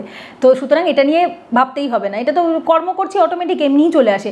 কখনো ভাবি না যে পরের দিনটা কি করে হবে। হ্যাঁ একটা টাইমে ভাবতাম একশো বার ভাবতাম, গোবিন্দ ভক্ত হওয়ার আগে একটা টাইমে ভাবতাম বাট গোবিন্দ ভক্ত হওয়ার পর থেকে আর ভাবতে হয় না, কারণ আমরা জানি হরি আছে। গোবিন্দ আছে, যার রাখে হরি মারে কে যাকে হরি রাখবে, তাকে কেউ মারতে পারবে না। যাকে হরি মারবে তাকে কেউ রাখতেও পারবে না। তো চিন্তাটা কিসের জন্য করছ? এই জিনিসটাই তো অ্যাকচুয়ালি বেশিরভাগ মানুষ বোঝে না। আর যারা আসরিক ভাবাপন্ন, তাদেরকে ভগবদ গীতার ক্লাস তারা এত অবধি দেখবেই না। উনপঞ্চাশ মিনিট অবধি আসরিক ভাবাপন্ন লোকেরা আমার ক্লাসই দেখছে না। তো যারা দেখছে, তারা এমনিই দৈবিক সম্পদ সম্পন্ন, তারা এমনিই জানে। আচ্ছা এরপরে ভগবান বলছেন, ইন্দ্রিয় সুখ ভোগকেই তারা জীবনের চরম উদ্দেশ্য বলে মনে করে থাকে। আমি অ্যাকচুয়ালি এমতে চার বছর ফিলোসফি পড়েছি ইলেভেন টুয়েলভে আর তারপর কলেজ লাইফে দু বছর। অ্যাকচুয়ালি ছটা আস্তিক ফিলোসফি হয়, তিনটে নাস্তিক ফিলোসফি হয়। এইবার যারা বেদকে মানে না, তাদেরকে নাস্তিক বলা হয়, ঠিক আছে? তবু হ্যাঁ আমি যেটা বইয়ে বলা হয়, বইয়ে বুদ্ধিজম, জৈনিজম আর চারবাক এই তিনটেকে নাস্তিক ফিলোসফির মধ্যে ধরা হয় but still I don't think Buddhism, Jainism অতটা লেভেলের নাস্তিক। বুদ্ধিজম, জৈনিজমের যে কোর কনসেপ্টটা ওটা সনাতন ধর্মের কনসেপ্ট থেকেই আসে, ঠিক আছে? ওটাকে আমি নাস্তিক বলে মনে করি না। এরা হয়তো গডের সেই মূর্তি পূজাকে বিশ্বাসী নয় ঠিকই বাট এরা যে কাজগুলো করে, এটা অ্যাকচুয়ালি সনাতন ধর্মের কর্মকেই এরা প্রমোট করেছে বা সেই রিলেটেডই কথা বলে। এরা এমন কিছু একদম ডিরেক্টলি উল্টো কিছু বলে এরকমটা নয়। বাট চারবাক ফিলোসফি প্রচণ্ড হাস্যকর ফিলোসফি লেগেছিল আমার। ঋণং কৃত্বা ঘিতং ঘৃতং পিবেদ ঋণ করে হলেও ঘি খাব ঘি খাব। মানে ঋণও যদি করতে হয় করব বাট নিজের ইন্দ্রিয়কে তৃপ্তি দেবো। এই একটাই জীবন, একটা জীবনকে একেবারে সেই মেরি মেকিং করে লাইফটাকে বাঁচতে হবে। মানে একদম সেই পারফেক্ট কলিযুগের জন্য পারফেক্ট চার মানে চারবাক ফিলোসফি হচ্ছে কলিযুগের জন্য পারফেক্ট এবং যার জন্য চারবাককে বলা হতো চারু বাক বা লোকা লোকইত বলা হতো মানে লোকের পছন্দ, লোকায়িত মতবাদ বলা হতো। কেন? বিকজ মানুষ খুব পছন্দ করতো বিষয়টা।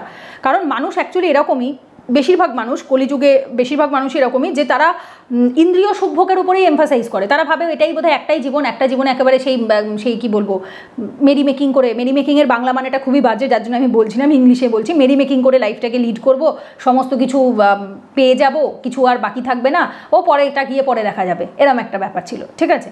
তো সেই সারা বছর যারা পড়াশোনা করে না পরীক্ষার সময় দেখে নেব কী হবে না হবে, তো সেই রকমই অ্যাকচুয়ালি ব্যাপারটা। এবং পরীক্ষার দিন তো তাদের অবস্থা কাহিল হয়ে যায়। এরা ভাবে বোধহয় যতক্ষণ প্রাণ আছে ততক্ষণই হয়তো পরীক্ষা আছে বাট পরীক্ষা এর পরে বড় বড় পরীক্ষা শুরু হয়ে যাবে নরকে, তো সেটা তারা জানেও না। এইবার এই যে ফিলোসফিটা অ্যাকচুয়ালি এরা হচ্ছে আসরিক ভাবাপন্ন।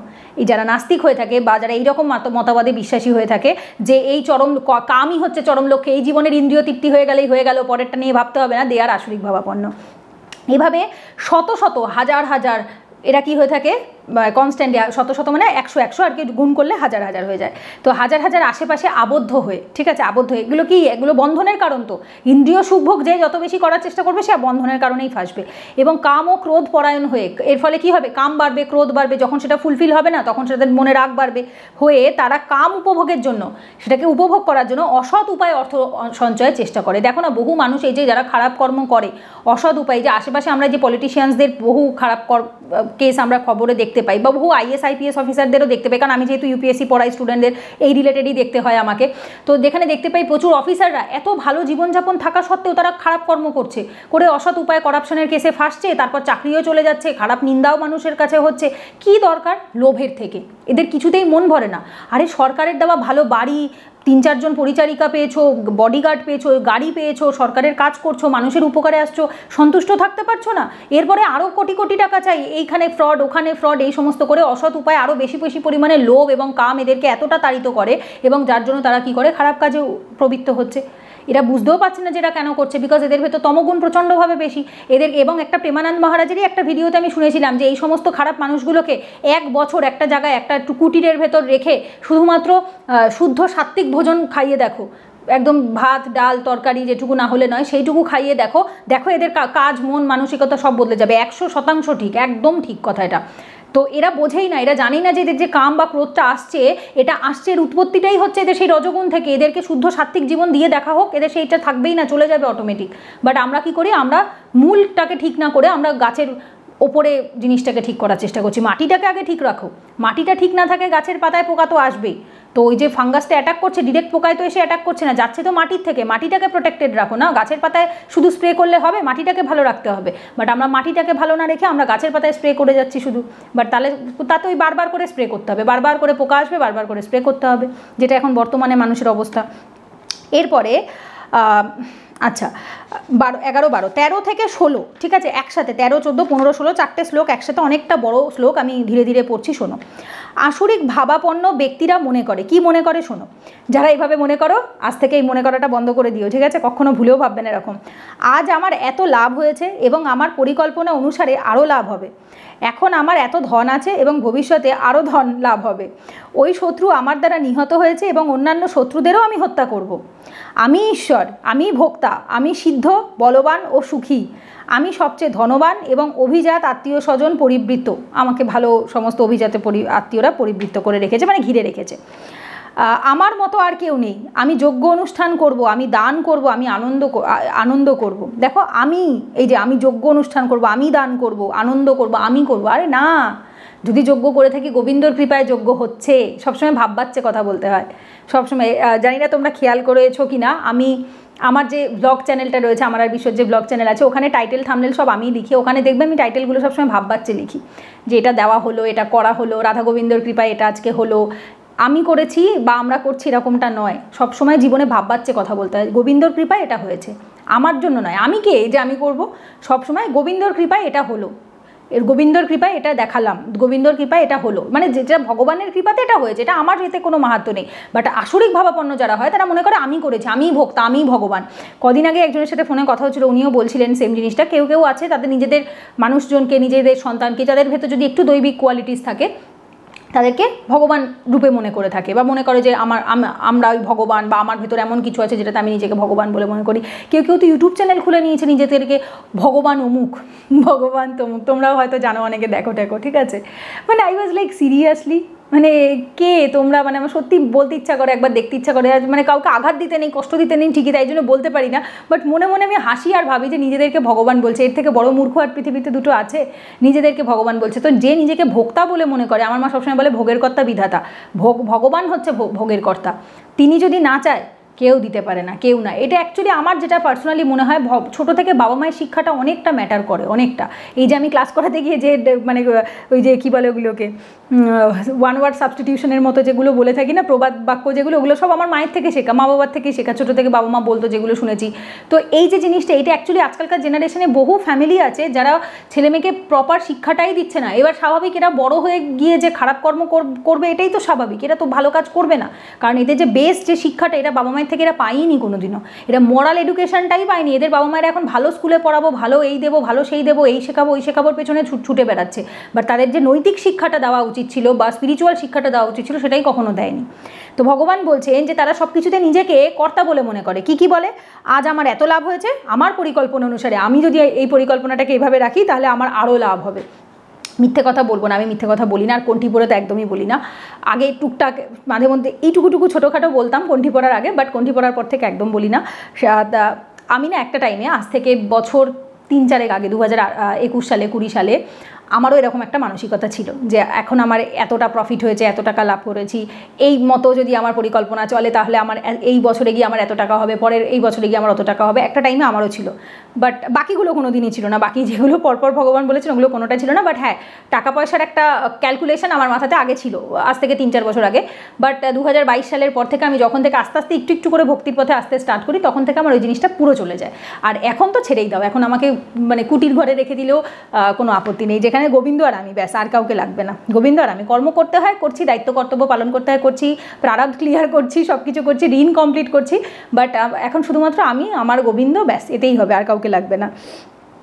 এবং ভগবান বলছেন, ওই ওই শত্রু আমাদের, কারণ দেখো বেসিক্যালি যে সময় ভগবদ্গীতার জ্ঞান দেওয়া হয়েছিল, ভগবান অর্জুনকে বলেছিলেন, সেই সময় তো অ্যাকচুয়ালি রাজাদেরকে ব্যাপারটা ছিল, তখন তারা শত্রুদেরকে দমন করার চেষ্টা করতে এখন হয়তো সেইভাবে কেউ শত্রুকে নিহত করে না বাট এই যে আমরা আশেপাশে যে দেখতে পাচ্ছি না, যে খারাপ কর্ম যারা করছে, তারা নিজেদের পথে যে, যেই কেউ কাটা হয়ে দাঁড়াচ্ছে বা কেউ বাধা সৃষ্টি করছে তাকে মেরে দিচ্ছে। সে বাবা মা হোক, স্ত্রী হোক, সন্তান হোক, স্বামী হোক, আত্মীয় স্বজন হোক, অন্য মানুষ হোক মানে পথের কাটা রাখছেই না। তার মানে এরা প্রত্যেকে অসুর। এদেরকে মানুষের পর্যায়েই ধরা উচিত নয়। এদেরকে অসুরের পর্যায়ে ধরা উচিত। এবং আমাদের বৈদিক শাস্ত্রে বলা আছে, এই সমস্ত অসুরদেরকে কোনো রকম দয়া দাক্ষিণ্যতা না করে তাদেরকে সাথে সাথে মৃত্যুদণ্ড দেওয়া উচিত। সাথে সাথে, এটা আমাদের শাস্ত্রে লেখা আছে, যারা এরকম কর্ম করছে। কিন্তু যে দণ্ড দেবে, যে দণ্ড, দণ্ডদাতা তারাই বা ভগবদ্গীতা কোথায় পড়েছে? তারাও তো ভগবদ্গীতা পড়ে না না? এটাই হয়েছে মেন সমস্যা। যে দেশের যে মাথা, তারা নিজেরাই স্পিরিচুয়াল নয়। যারা এই সমাজ ব্যবস্থাকে চালাচ্ছে, তারাই স্পিরিচুয়াল নয়। আর যারা স্পিরিচুয়াল হয়ে যায়, তারা এই নোংরা সমাজ ব্যবস্থা থেকে নিজেদেরকে দূরে সরিয়ে নিয়ে সাধু সন্ন্যাসীর জীবনযাপন করে, এই সমস্তর মধ্যে থাকে না। কারণ তারা এই নোংরা মোটা সহ্য করতে পারে না। ভাবে এই জিনিসের মধ্যে থাকতে পারব না, থাকতে গেলে আমরাও মানে এর ভেতর জড়িয়ে পড়ব। সেই জন্য তারা নিজেদেরকে সরিয়ে নিয়ে আসে। আর পড়ে থাকে কারা? পড়ে থাকে সেই খারাপ মানুষগুলো যাদেরকে দিয়ে সমাজ ব্যবস্থা চলছে। মানে একজন ভক্ত এবং পলিটিক্যাল অ্যাডমিনিস্ট্রেটর মানে রাজা এবং ভক্ত দুটো একসাথে কোয়ালিটিতে পাওয়া যায় না। এইটাই হয়েছে সমস্যা। দুটো জিনিস একই সাথে লাগবে। যে ন্যায়পরায়ণতাও দিতে পারবে এবং অ্যাট দ্য সেম টাইম ভগবানের স্পিরিচুয়ালিটি জ্ঞানও যার ভেতর থাকবে। আচ্ছা এবং দেখো এই যে তারা মনে করে, আমি ঈশ্বর, আমি ভোক্তা, আমি সিদ্ধ, বলবান ও সুখী। নিজেকে বলবান মনে করে, নিজেকে সুখী বলে মনে করে। অ্যাকচুয়ালি আমরা দুঃখালয়ে বাস করে নিজেদেরকে সুখী মনে করছি। পৃথিবীর নাম দুঃখালয়। তো যেখানে জগতে জন্মগ্রহণ করলেই তাকে দুঃখ পেতে হবে, ঠিক আছে? তো সুতরাং তুমি কীভাবে সুখী হবে? তবু হ্যাঁ সুখীকে ভগবানের ভক্ত যারা। অ্যাটলিস্ট শান্তি আছে মনে। যে আমাদের, আমরা ভক্ত হিসাবে সুখী। আমাদের কোনো জাগতিক বিষয়ে সুখ নয়। ভক্ত হিসাবে সুখী। গোবিন্দ কৃপা করেছে, গোবিন্দ ভালোবাসে, এটাই আমাদের পরম সুখের থেকে সুখ আর কিছু দরকার নেই। আচ্ছা এবং তারা কি করে? বিমোহিত হয়ে এই যে এই ব্যক্তি, এভাবে আসরিক ভাবাপন্ন ব্যক্তিরা জ্ঞানের দ্বারা অজ্ঞানের দ্বারা বিমোহিত হয়। ঠিক আছে? অজ্ঞান তাদেরকে মোহের দ্বারা আটকে রাখে। নানা প্রকার দুশ্চিন্তায় বিভ্রান্ত হয়ে সবসময় এটা টেনশনে থাকে।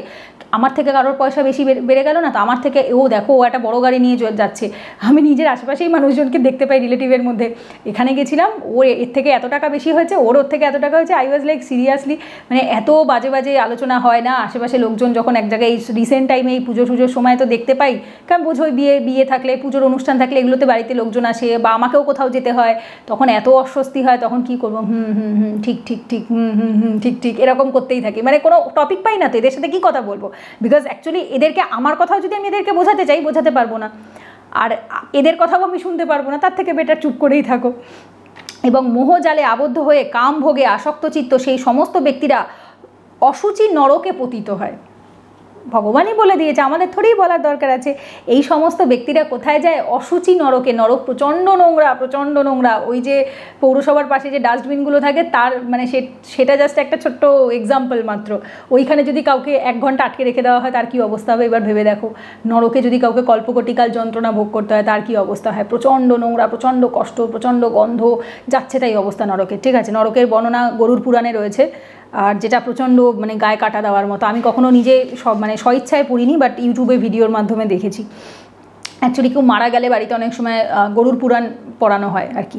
ওটা মানুষকে বোঝাবার জন্য যে দেখো তুমিও মারা গেলে তোমার এরকম অবস্থা হবে, তো সুতরাং ভালো কর্ম করো বাট কেউ শোনে না তখন এগুলো। আচ্ছা সে এবার সতেরো নাম্বার শ্লোকে, সেই আত্ম অভিমানী অনম্র ও ধন ও মানে মদমত্ত ব্যক্তিরা অবিধিপূর্বক দম্ভ সহকারে নানা নামমাত্র যজ্ঞের অনুষ্ঠান করে। সেই আত্মভিমানী, আত্মযুক্ত অভিমানী যে নিজেকে নিয়ে, নিজের আত্মাকে নিয়ে প্রচণ্ড অভিমান করে, আমি এই, আমি সেই আত্ম অভিমানী ঠিক আছে? অহংকারী যে। অনম্র, বিনম্র নয়, সে বিনম্র নয়, সে অনম্র। মানে হচ্ছে যার ভিতর নম্রতা নেই হিউমিলিটি যেটাকে আমরা বলি না হাম্বলনেস এখন যেটাকে আমরা ইংলিশে হাম্বলনেস বলে থাকি বিনম্র মানুষদেরকে, তার ভেতর হাম্বলনেস নেই, তার ভেতর অহংকার উদ্ধত্ত রয়েছে। ধন মানে মদ্য হয়ে, ধন মানে টাকা, মান মানে সম্মান, না name and fame money and fame এইটাতে সে মদমত্ত হয়ে থাকে। মানে হচ্ছে অ্যাডিক্টেড হয়ে থাকে। এর ভেতরে যেন সে নেশার ঘোরের মতো একটা থাকে। ব্যক্তিরা অবিধিপূর্বক, তাদের, তারা যে পালনটা করে সেটা কোনো বিধিপূর্বকও নয়, সেটা শাস্ত্রেও বলা নেই। অবিধিপূর্বক দম্ভ সহকারে দম্ভ সহকারে তারা কি করে? নামমাত্র যজ্ঞের অনুষ্ঠান করে, সামান্য একটু যজ্ঞের অনুষ্ঠান করে। কীরকম? ভগবানের ভক্তরা রোজ দিন হয়তো বড় করে যজ্ঞ করে না বা কিছু করে না। প্রত্যেক দিন নাম জপ করে। কেউ টেরও পায় না। যারা শুদ্ধ ভক্ত হয়, তারা কীভাবে ভক্তি করছে মানুষ জানতেও পারে না, টেরও পায় না। ঘরের ভেতরে ভেতরে তারা গোপাল সেবা করে, নাম জপ করে, মানুষকে বলেও না, কিছুও না, তারা এভাবে জীবনযাপন করে। তারা বিধিপূর্বক ভগবানের নামের সেবা করে যাচ্ছে। কিন্তু বর্তমান পয়েন্ট অফ ভিউ থেকে বলছি, তখনের কথা বাদ দিলাম, সত্য দাপট্যতা এগুলোর কথা বাদ দিলাম। কলিযুগের পয়েন্ট অফ ভিউ থেকে বলি, যারা শুদ্ধ ভক্ত হয়, তারা বিধিপূর্বক প্রত্যেক দিন ভগবানের নাম জপ করছে, তুলসী সেবা করছে, গোপাল সেবা করছে, তারা কেউ মানুষকে বলতেও যাচ্ছে না, দেখতেও যাচ্ছে না, বা কোনো অহংকারও দর্শিত করছে না। আর যারা অবিধিপূর্বক লাখ লাখ কোটি কোটি টাকা খরচ করছে, বিয়ে বলো, অনুষ্ঠান বলো, তাতে মানে সে কি বলব, সেই কদিন আগেই তো একটা বিশাল বড় বিয়ে গেল, ছ মাস, তিন মাস ধরে বিয়ে হলো। তখন দেখবে কিছু মানুষ থাকে যারা ওই পার্টিকুলার একটা অনুষ্ঠান একটা বড় যোগ্য করে দিলাম। পার্টিকুলার একটা গাড়ি কিনেছি, বাড়ি বাড়ি কিনেছি, সেদিনকে একটু যোগ্য করে দিলাম। অহংকার, তাদের তার, এটা বিধিপূর্বক নয় কিন্তু। আমি সারা জীবন ভগবানকে ভজলাম না, সারা জীবন আমি তার নাম জপ করলাম না, কিছু করলাম না, শুধু একটা গাড়ি কিনেছি বলে আজকে একটু যোগ্য দিয়ে পুজো করে দিলাম, একটা বাড়ি কিনেছি বলে একদিন গৃহপ্রবেশ করে যোগ্য করে দিলাম একশোবার সেটাও প্রয়োজন। বাট তুমি কি প্রত্যেক দিন ভগবানের নাম জপ করছ? তোমার কলিযুগে যে কর্মটা রয়েছে, কলিযুগে যে ভগবানের নাম জপের যোগ্য রয়েছে, সেটা কি করছ? যোগ্য করতে না পারো, প্রত্যেক দিন কি ভগবানের পুজো দিচ্ছ? প্রত্যেক দিন কি ভগবানের সামনে নিজেকে সমর্পণ করছ? সেটা তো করছ না। তোমরা কি একটা অনুষ্ঠান? ব্যাস, ঠিক আছে, আজকে আমার অহংকার, আজকে আমি এত কিছু কিনেছি, এত কিছু করেছি, তো সেটা একটা প্রমাণ করতে হবে না? এটা ওটা বড় যোগ্য না করলে মানুষ জানবে কীভাবে? সো দ্যাট ইজ হচ্ছে ভগবান বলছেন, এইটা অহংকার দর্শনের মাধ্যমে আসরিক ভাবাপন্ন যারা রয়েছে তারা করে থাকে, ঠিক আছে? আচ্ছা এবং তারা নামমাত্র, এটা তো নামমাত্রই, তুমি সারা জীবন ভগবানের নাম জপ করলে না, একদিন একটা অনুষ্ঠান করলে যেরকম কৃষ্ণ ভক্ত হওয়ার আগে যারা কৃষ্ণভক্ত তাদের কথা বাদ দিলাম, কারণ তারা ভগবানের নাম জপ প্রত্যেক দিনই করে ভগবানের সেবা করে, তারা তারা শুদ্ধ ভক্ত হয়, তাদের কথা আমি বলছি না। বেশিরভাগ মানুষ, কলিযুগের বেশিরভাগ মানুষ দেখবে যে তারা মানে কৃষ্ণভক্ত তো রেয়ারেস্ট অফ রেয়ার কেসে কেউ কৃষ্ণভক্ত হয় বাট বেশিরভাগ মানুষ যারা, তারা দেখবে ভগবানের নাম জপ তো অনেক দূরের কথা, নিত্যদিনের পুজোটুকুও ঠিক মতো দেয় না, তাদের ঘরে হয়তো ঠাকুরের আসনটুকুও থাকে না। বহু বাড়িতে গিয়ে দেখেছি, ওই দেয়ালে একটা ফটো আছে, ব্যাস ওইটুকুই মানে আই ওয়াজ লাইক সিরিয়াসলি কোনো মানে ফুল, ফল, মিষ্টি, জল এইটুকু কিচ্ছু তারা দেয় না। কিন্তু তাদের বাড়িতে যখন কোনো একটা একদিনের অনুষ্ঠান হবে, ছ মাসে, দু মাসে, বছরে একবারে গিয়ে বা দু বছর, পাঁচ বছরে একবারে, সেদিনকে তারা অনেক কিছু করবে। মানে মানে হাসিও পায়, এক একবার বলতেও ইচ্ছা করে অনেক কিছু। কিন্তু এখন বৈষ্ণব হয়ে যাওয়ার পর থেকে এখন সব কিছু বলতে পারি না। মানে খুব ইচ্ছে করলেও নিজেকে সংবরণ করে নিতে হয় যে, না বাবা, বলব না, বৈষ্ণব অপরাধ হয়ে যাবে, বাবা, কে কোথার থেকে দুঃখ পেয়ে যাবে, কাউকে আঘাত দিয়ে ফেলব, তোর থেকে বলার দরকার নেই, চুপ করে যায় কিন্তু এক একবার কিছু জিনিস দেখলে এত খারাপ লাগে, বলতেও ইচ্ছা করে, কিন্তু ওই যে ভগবানের ভক্ত মুখ থেকে খারাপ কথা বলতে নেই, সেই জন্য বলতে পারি না। কিন্তু এটা তোমরাও জানো রিলেটও করতে পারছ, অনেকে মনে মনে রিলেটও করতে পারছে, আমিও রিলেট করতে পারছি বাট যাই হোক পাবলিক প্ল্যাটফর্ম বলা যায় না নাম। তো এরা হচ্ছে আসরিক ভাবাপন্ন এরপর আঠারো নাম্বার শ্লোকে অহংকার, বল, দর্প, কাম ও ক্রোধকে আশ্রয় করে অসুরেরা স্বীয় দেহে এবং অন্যের দেহে অবস্থিত পরমেশ্বর রূপে আমাকে দেশ করে এবং সাধুদের গুণেতে দোষারোপ করে। রিসেন্ট কলিযুগে মারাত্মক পরিমাণে দেখা যাচ্ছে, লোকজন নিজের কাজকর্ম ছেড়ে সাধু সন্ন্যাসীদের পেছনে পড়েছে। তারা কেন এই কথা বলছে, তারা কেন সেই কথা বলছে, তারা কেন এটা করছে, তারা কেন সেটা করছে? প্রচুর দেখতে পাচ্ছ, তোমরাও হয়তো দেখতে পাচ্ছ, লোকজন আজকাল বড় বেশি কথাবাচকদের পেছনে, তারপরে সাধু সন্ন্যাসীদের পেছনে, প্রভুজি মাতাজিদের পেছনে তারা কেন করছে, তারা কীভাবে করছে, তাদের নামে সমানে নিন্দা করে যাচ্ছে, দোষারোপ করে যাচ্ছে রোস্টিং করে যাচ্ছে দ্য সো কল রোস্টিং এখন একটা রোস্টিংয়ের কালচার এসছে, কলিযুগের কালচার এটা অ্যাকচুয়ালি রোস্টিং কালচার তো এই রোস্ট করা মানে কি পোড়ানো? রোস্ট যদি বাংলায় আমরা বলি রোস্ট করা মানে পোড়ানো। তার মানে একবার ভেবে দেখো ওয়াটা কালচার না? এটা নামে দিয়ে দেওয়া হয়েছে রোস্টিং মানে তাকে রোস্ট করা হবে, পোড়ানো হবে। ঠিকই আছে, খাচ্ছে চিকেন রোস্ট তো এরা মানুষকে রোস্ট ছাড়া আর কী বা করতে পারবে? অহংকার, বল দর্প কাম। ঠিক আছে? অহংকার, এদের প্রচণ্ড অহংকার থাকে, নিজেদেরকে প্রচণ্ড জ্ঞানী বলে মনে করে থাকে। অ্যাকচুয়ালি এদের ওই পুঁথিগত বিদ্যাটুকু ছাড়া এর বাইরে কোনো জ্ঞান নেই। এদেরকে, নিজেদের সম্পর্কে একটা আত্মতত্ত্ব রিলেটেড একটা প্রশ্ন করা হোক, কিচ্ছু বলতে পারবে না। বলতেই পারবে না তারা যে তুমি কোথেকে এসছো, কোথায় যাবে? এরা ওই বাবার নাম বাবার থেকে এসছি, কোথায় যাবে? তাই মরে যাব, মরে গেলে আর তারপর আর জানি না কোথায় যাব, ঠিক আছে? বল, এদের নিজেদেরকে বিশাল পাওয়ারফুল বলে মনে করে থাকে। দর্প, অহংকারে তো মাটিতে পা পড়ে না, কাম, এদের তো মারাত্মক লেভেলে কাম থাকে, যার জন্য তারা নিজেদেরকে, এবং তারা নিজেদের যে বল বা পাওয়ারটা না, এটা মনে করে পয়সা আছে, তাই আমাদের বল আছে। এখন কলিযুগে বেশিরভাগ মানুষ মনে করে থাকে যে পাওয়ার থাকলে ক্ষমতা থাকলেই বা মানে টাকা পয়সা থাকলেই ক্ষমতা আছে। এবং ক্রোধ, এদের মারাতে ক্রোধ থেকেই তো, এদের যদি ক্রোধ না থাকতো, এরা কোনো মানুষকে আঘাত দিয়ে কথা বলার আগে দশবার ভাবতো। আমরা তো এদের খারাপ খারাপ জিনিস দেখা সত্ত্বেও মুখ বন্ধ রাখি, বলি না। কেন? নিজেদের ক্রোধকে সংবরণ করি। বাট এরা মানুষের ভালো গুণাবলিতেও দোষ খুঁজে পায়। তার মানে একবার চিন্তা করে দেখো এদের অবস্থা। আশ্রয় করে অসুরেরা স্বীয় দেহে, নিজের দেহের ভেতরেও ভগবান আছে এবং অন্যের দেহেও ভগবান আছে। আমরা কেন মানুষের সাথে খারাপ ব্যবহার করি না? কারোর খারাপ কিছু দেখলেও কেন বলতে পারি না? কেন বলতে পারি না? বিকজ এটাই ভাবি যে আমার দেহে যেরকম পরমাত্মা রূপে ভগবান রয়েছে, ওর দেহতেও পরমাত্মা রূপে ভগবান রয়েছে। তো আমি যদি ওকে দুটো খারাপ কথা বলি, তার মানে তো আমি আমার পরমাত্মাকেই কষ্ট দিলাম। তো আমি আমরা এই কারণে, বা যারা ভক্ত হয় ভগবানের, তারা খারাপ কথা কারোর খারাপ জিনিস দেখলেও বলতে পারে না, ঠিক এই কারণে এটা ভেবে যে আমার দেহে যেমন ভগবান আছে, ওর দেহেও ভগবান আছে। বাট তারা তো সেটাকে মানে না।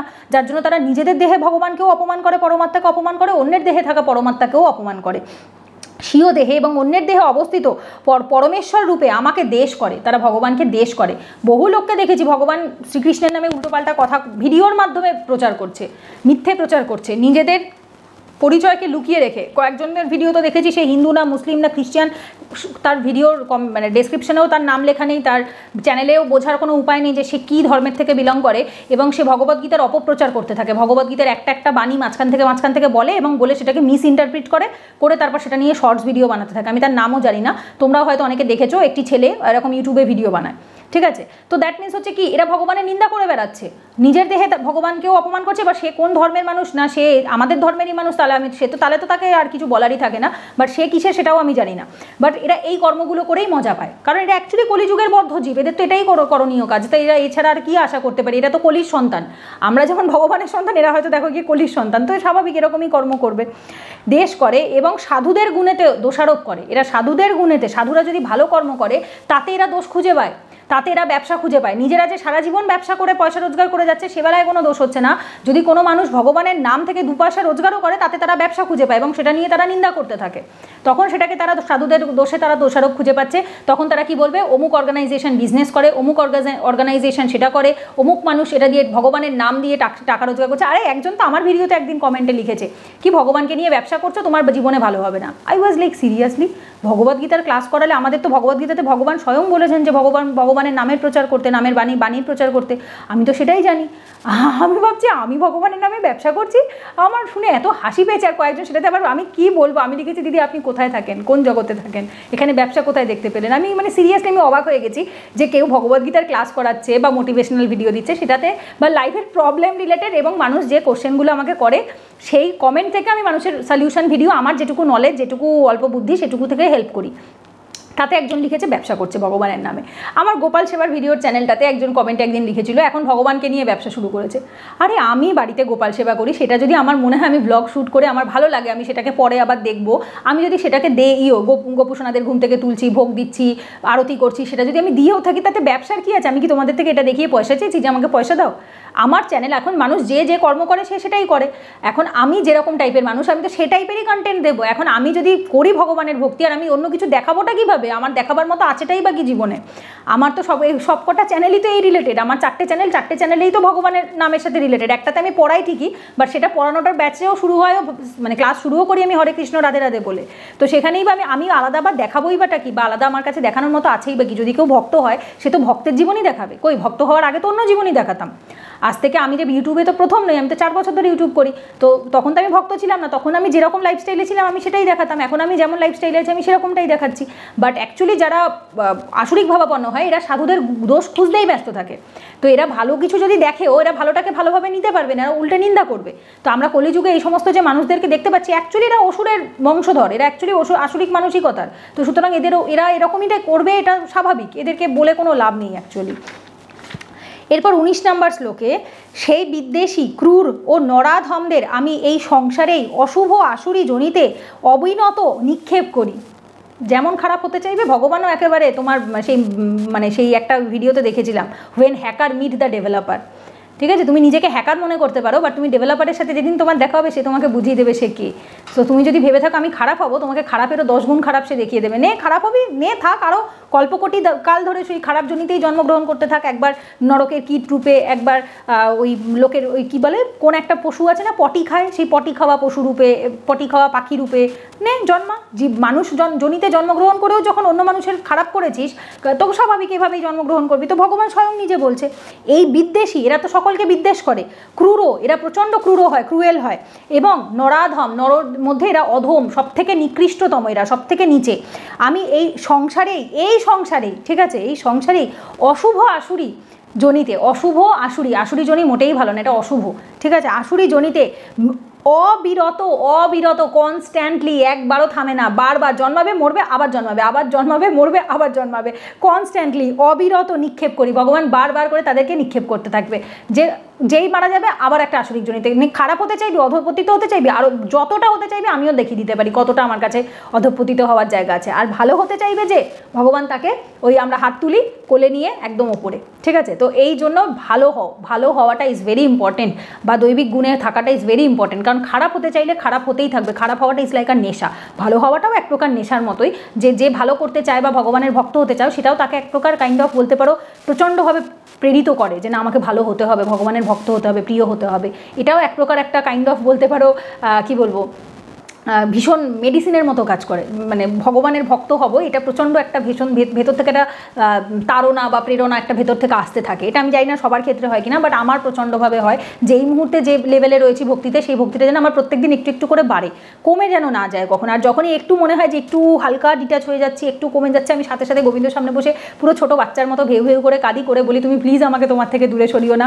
আমার মনে হচ্ছে তুমি যেন আমাদের উপর রাগ করছ, আমার থেকে একটু একটু সরে যাচ্ছ। কেন এরকম করছ? আমি তো বলছি আমার ভুল হয়ে গেছে আমি এমনভাবে কান্নাকাটি করে বকবক করি, আবার পরের দিন থেকে সব ঠিকঠাক হয়ে যায়। তো আমার এটা আমার সাথে হয়, আমি ওই জন্য শেয়ার করলাম। আমি জানি না তোমাদের কার সাথে হয়, যদি হয় কমেন্টে অবশ্যই জানিও। তো যখনই মনে হয় একটু ভক্তির থেকে ছুটে যাচ্ছে সাথে সাথে একদম ছোট বাচ্চা যেরকম, যে মা তুমি রাগ করেছ, বাবা তুমি রাগ করেছ প্লিজ আমার উপর রাগ করো না। আমরা যেরকম ছোটোবেলায় বাবা মাকে রাগ করলে মানাতাম। তো ঠিক সেইভাবে গোবিন্দ, রাধা গোবিন্দর সামনে বসে ওই রকমভাবে আমি করি। আর সাথে সাথে এক জাস্ট সেকেন্ডের মধ্যে মনে গেল কি গোবিন্দ আমাকে হাফ করল, পুরো শান্ত করে দিল, ব্যাস মনে দুঃখ কমে গেল। মাম্মা মামাকে মানে রাধা মা আর কি আমাকে একদম শান্ত করে দেয় এবং করে তারপর না, বাবা, যে তুমি ভালো, যে ভালো হতে চাইবে, যে ভালো থাকতে চাইবে, যে ভক্তির পথে থাকতে চাইবে, ভগবান সব সময় তাকে ভালোর পথে দেবে। আর যে খারাপ হতে চাইবে, ভগবান তাকে অবিরত খারাপেরও খারাপ আমি দেখিয়ে দিতে পারি, তো খারাপে একদম অবিরত নিক্ষেপ করবে তোমাকে। এরপরে, এটা গেল উনিশ, কুড়ি নাম্বার শ্লোকে, হে কৌন্তেও জন্মে জন্মে অসুরজনী প্রাপ্ত হয়ে সেই মূঢ় ব্যক্তিরা আমাকে লাভ করতে অক্ষম হয় এবং ক্রমান্বয়ে আরও অধম গতি প্রাপ্ত হয়। এবার দেখো, একটা জিনিস বোঝো ভগবান, ধরো তোমার একটা এক্সাম্পল বলি, তাহলে ভালো বুঝতে পারবে। ধরো দশতলা একটা বাড়ি, এইবার দশতলা বাড়ির, ধরো দশতলার ছাদে রয়েছে ভগবান, আর একতলা একদম গ্রাউন্ড ফ্লোর হচ্ছে নরক। এইবার যদি কনস্ট্যান্টলি কেউ বারবার করে নিচে যেতে থাকে, বারবার নিচে যেতে থাকে, তো বারবার নিচে যেতে যেতে তার তো একটা টাইমে গিয়ে দশতলা পৌঁছতে অনেক সময় লেগে যাবে। আর যদি কেউ আস্তে আস্তে হলেও, একটু একটু করে হলেও সিঁড়ি দিয়ে ভেঙে ভেঙে, ধরো কেউ একতলা সিঁড়ি দিয়ে একতলা অবধি উঠেছে, উঠে দেখল, বাবা, সামনে নতলা, পারব না, বাবা, আমি নিচতলায় নেমে আসি। তারপর আবার ভাবলো, না, আমাকে তো দশতলায় পৌঁছতে হবে। কি করব? পরের বার আবার সে দোতলা অবধি উঠল। উঠে ভাবলো, আমি আটতলা অবধি পারব না। তো আবার নেমে আসলো। তো অ্যাকচুয়ালি খারাপ জনই হচ্ছে ওরকম। বারবার সে অধপতিত হচ্ছে, নিচে বারবার নামছে। ঠিক আছে, এইবার যে ভালো হওয়ার চেষ্টা করবে, সে তো ভাববে যে, না, আমি ধীরে সুস্থে একটু একটু করে হলেও উঠবো। আজকে তিনতলা অবধি উঠে রাখি আর একটু অপেক্ষা করি একদিন, করে পরের দিন আমি চারতলা অবধি উঠবো, পরের দিন আমি পাঁচতলা অবধি উঠবো, একটা জন্মে না হোক, আস্তে আস্তে কোনো না কোনো জন্মে তো আমার ঠিক হবে। তো ঠিক আস্তে আস্তে আমি একদিন না একদিন দশতলায় তো ঠিক পৌঁছবো হেঁটে হেঁটে। তো এইটা হচ্ছে ভক্তদের বা দৈবিক গুণদের কোয়ালিটিস থাকবে। আর যারা খারাপ হবে, তারা বারবার করে নিচে নামতে থাকবে, অধপতিত হতে থাকবে, পতিত হতে হতে এরা ভগবানের কাছে পৌঁছতে পারবে না। পারলেও বহু লেট হয়ে যাবে। এই যে, হে কৌন্তেও জন্মে জন্মে বারবার এদেরকে, জন্মে জন্মে অসুর জনি প্রাপ্ত হয়ে এরা বারবার অসুর জনিতে জন্মগ্রহণ করবে। সেই মূঢ় ব্যক্তিরা, এরা অ্যাকচুয়ালি তো মূঢ় না, এদের তো বুদ্ধি নেই। মূঢ় ব্যক্তিরা আমাকে লাভ করতে অক্ষম হয়, এরা ভগবানকে পায় না, এরা মুক্তি পায় না। এবং ক্রমান্বয়ে আরও অধম গতিপ্রাপ্ত হয়, আস্তে আস্তে ক্রমান্বয়ে এরা আরও নিচে নামতে থাকে, ঠিক আছে? এরপর একুশ নাম্বার শ্লোকে, কাম, ক্রোধ ও লোভ এই তিনটে নরকের দ্বার, অতএব ওই তিনটে পরিত্যাগ করবে, কারণ তাদের মাধ্যমে আত্মার অধোগতি হয়। কাম, ক্রোধ ও লোভ, স্বয়ং ভগবান বলছে। কাম, কামনা বাসনা সেন্সুয়াল প্লেজার ইন্দ্রিয়ের প্রশস্তিই হচ্ছে কাম। যে মনে করে থাকে আমি ইন্দ্রিয়কে সন্তুষ্ট রাখব, সেটা যে কোনো ইন্দ্রিয়, স্পর্শ ইন্দ্রিয় হতে পারে, ঘ্রাণ হতে পারে, খাবার জিহবা হতে পারে মন হতে পারে যে কোনো কিছু, যে আমার ভালো, আমার কামনা, আমার বাসনা, আমি এটা চাই, আমি সেটা চাই, এই কাম রিলেটেড যেটা হবে, সেটা সেক্সুয়াল প্লেজারও হতে পারে, এটা সমস্ত কিছুকে ইনক্লুড করে, ঠিক আছে? কাম এবং ক্রোধ, ঠিক আছে? ক্রোধ, রাগ, যেটা কামের থেকেই ক্রোধের জন্ম হয়, এবং লোভ, লোভের জন্মও এখান থেকে। কামনা কামনা বাসনা যার থাকবে, তার তো লোভ হবেই। যার মনে মনে কামনা থাকবে যে আমার আজকে এটা হবে, কালকে সেটা হবে, তো স্বাভাবিকভাবে তার তো ওটার প্রতি লোভও আসবে যেটা আমার থাকবে। ঠিক আছে? তো এই তিনটে জিনিস কি নরকের দ্বার? কাম, ক্রোধ ও লোভ এই তিনটি নরকের দ্বার, অতএব ওই তিনটি পরিত্যাগ করবে। এই তিনটি সবসময় পরিত্যাগ করবে। এই এমনকি বৈদিক শাস্ত্রেও সন্তান উৎপাদনের জন্য মানে যদি কেউ ফিজিক্যাল হয়, সেটাকেই একমাত্র অনুমোদন করা হয় আদারওয়াইজ বাকি কোনো কিছুকে অনুমোদন করা হয় না। ঠিক আছে? এমনকি প্রভুপাজিরও একটি লেকচার আমি ইউটিউবেই শুনেছিলাম, একটা শর্টস ভিডিওর ভেতরেই। মানে ওনার যে ভয়েসের লেকচারগুলো রয়েছে আগের যেগুলো, সেগুলোতে অনেকে শর্টস ছাড়েন। একজন প্রভুজি ইউটিউবে একটা ভিডিওতে ছেড়েছিলেন। সেখানেও প্রভুপাজির একটা লেকচারই আমি শুনেছিলাম, যে একমাত্র বৈদিক শাস্ত্রেও কিন্তু এটা বলা হয়েছে, যারা গৃহস্থ মানুষ, ভগবানের ভক্ত, তারা মাসে একবার মাত্র শারীরিক সম্পর্কে জড়াতে পারে, তার থেকে বেশি নয়। এবং সন্তান জন্মানো অবধি, শুধুমাত্র সন্তান জন্মানো বা ভবিষ্যৎ প্রজন্মকে এগিয়ে নিয়ে যাওয়া এইটুকু কারণের জন্যই, এর থেকে বেশি কোনো কারণে নয়। তো সুতরাং এর এর বাইরে যে কাম রয়েছে, সেটা সমস্তটাই অশুদ্ধ কাম, সমস্তটাই, ঠিক আছে? আর ক্রোধ আর লোভ তো সবসময় খারাপ সবসময় খারাপ। এই তিনটি নরকের দ্বার, অতএব ওই তিনটি পরিত্যাগ করবে, কারণ তাদের মাধ্যমে আত্মার অধোগতি হয়। এদের মাধ্যমেই আত্মা নিচের দিকে নামে, ওপরে কখনোই উঠতে পারে না। বাইশ নাম্বার শ্লোকে, হে কৌন্তেও এই তিন প্রকার তমদার থেকে মুক্ত হয়ে যে মানুষ আত্মার শ্রেয় আচরণ করেন, তিনি অনন্তর পরাগতি লাভ করে থাকেন। হে কন্তেও, এই তিন প্রকার, এই তিনটে কি হচ্ছে? তমদার বিশিষ্ট, ঠিক আছে? এই তিন প্রকার তমদার থেকে মুক্ত হয়ে, এই যে কাম, ক্রোধ, লোভ, এই তিনটে হচ্ছে তমদার ঠিক আছে? তো এই তম, তিনটে তমদার থেকে যে মুক্ত হয়, ঠিক আছে? থেকে হয়ে, যে মুক্ত হয়ে, যে মানুষ আত্মার শ্রেয় আচরণ করে, আত্মার শ্রেয় শ্রেয় মানে সব থেকে ভালো সব থেকে বেস্ট যে সব থেকে আত্মার রিলেটেড যে আচরণগুলো করে থাকবে, তিনি অনন্তর পরাগতি লাভ করেন, অনন্তর মানে যে, যেটার কোনো শেষ নেই, অন্তর নেই, ঠিক আছে? অনন্তর পরাগতি পরাগতি ভগবানকে পাওয়া, পরমার্থ লাভ করাকে পরাগতি লাভ করা বলা যেটা হচ্ছে আলটিমেট মোক্ষ বা লিবারেশন বা ভগবানের ধামে যাওয়া যেটাই বলো না কেন। তো সেখানে হচ্ছে তিনি আলটিমেটলি কী করছে? পরাগতি লাভ করে থাকেন। যে, তেইশ নম্বর শ্লোক, যে শাস্ত্রবিধি পরিত্যাগ করে কামের বশবর্তী হয়ে যথাচারে লিপ্ত থাকে, সে সিদ্ধি সুখ অথবা পরাগতি লাভ করতে পারে না। যে শাস্ত্রবিধি পরিত্যাগ করে, শাস্ত্রতে যে নিয়ম আচার বলা হয়েছে, কারণ বৈদিক শাস্ত্র মেনে চলতেই হবে, বৈদিক শাস্ত্র বেদ স্বয়ং ভগবানের অংশ, ঠিক আছে? ভগবানই লিখে গেছেন মানে ভগবানেরই পার্শ্বিক অবতার ব্যাসদেবজি লিখে গেছেন। তো সেক্ষেত্রে শাস্ত্রবিধি যে পরিত্যাগ করেছেন, কামের বশবর্তী হয়ে যথাচ্চারে লিপ্ত থাকে যা ইচ্ছা তাই করে যায়, যা ইচ্ছা তাই, যা ইচ্ছা তাই খাচ্ছে, যা ইচ্ছা তাই পড়ছে, যা ইচ্ছা তাই শারীরিক সম্পর্কে জড়াচ্ছে, কোনো কিছু ভাবছে না একবারও যথাচ্চারে লিপ্ত থাকে। এবং এটা কাদের কাজ? কুকুর বিড়ালের কাজ।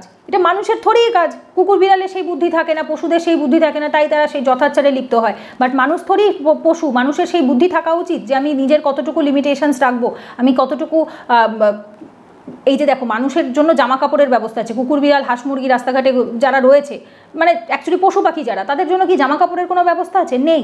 তো লজ্জাটা মানুষের গুণের মধ্যে পড়ে। ভগবান স্বয়ং দৈবিক গুণের মধ্যে লজ্জা বলছে। বাট যেটা মানুষ ভুলে গেছে এখন, মানুষ সেটা মনে রাখে না। সেই জন্যই তাদের জীবনটাও পশু জীবনের মতো হয়ে গেছে। এদের জীবনে যে আসরিক কাজগুলো ঘটছে বা আসুর মানে পশুর মতো জীবনযাপন এরা করছে বলেই অ্যাকচুয়ালি জিনিসগুলো ঘটছে। এবং কিছু বলতে চাও, তখন হচ্ছে এদের স্বাধীনতা, তুমি কেন এটা বলছো, কেন সেটা বলছো বাট বুঝতে হবে যে বেসিক্যালি আমরা পশু নই, আমরা মানুষ, আর মানুষ আর পশুর মধ্যে ডিফারেন্স আছে। যখন ডিফারেন্স আছে, তখন সেটা আমাদের কর্মের মাধ্যমে, আমাদের পোশাক আশাকে, আমাদের ব্যবহারেও সেই ডিফারেন্সটা থাকা উচিত। না হলে আমরা ওই ওদের মতো যথাচ্চারে লিপ্ত হব। সে সিদ্ধি, সুখ অথবা পরাগতি লাভ করতে পারে না, পারে না তো। এই জন্যেই তো কলিযুগে এত পরিমাণ বদ্ধজীবের পরিমাণ বেড়ে যাচ্ছে।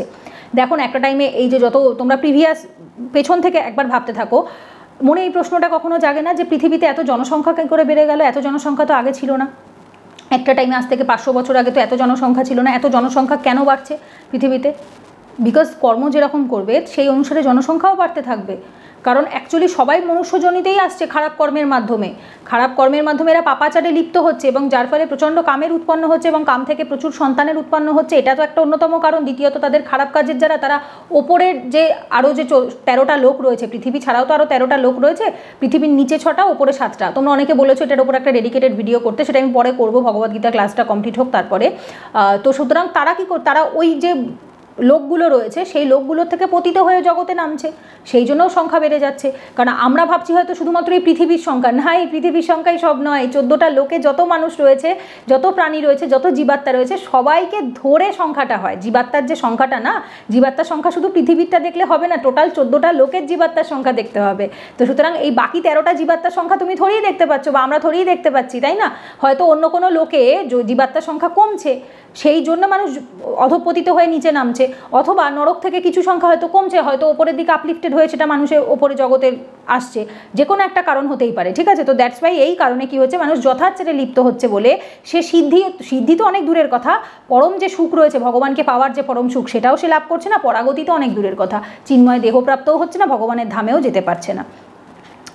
এরপরে চব্বিশ নম্বর শ্লোকে, অতএব কর্তব্য ও অকর্তব্য নির্ধারণে শাস্ত্রই তোমার প্রমাণ। শাস্ত্রীয় বিধানে কথিত কর্ম সম্বন্ধে জেনে তুমি সেই কর্ম সম্পাদন করতে যোগ্য হও।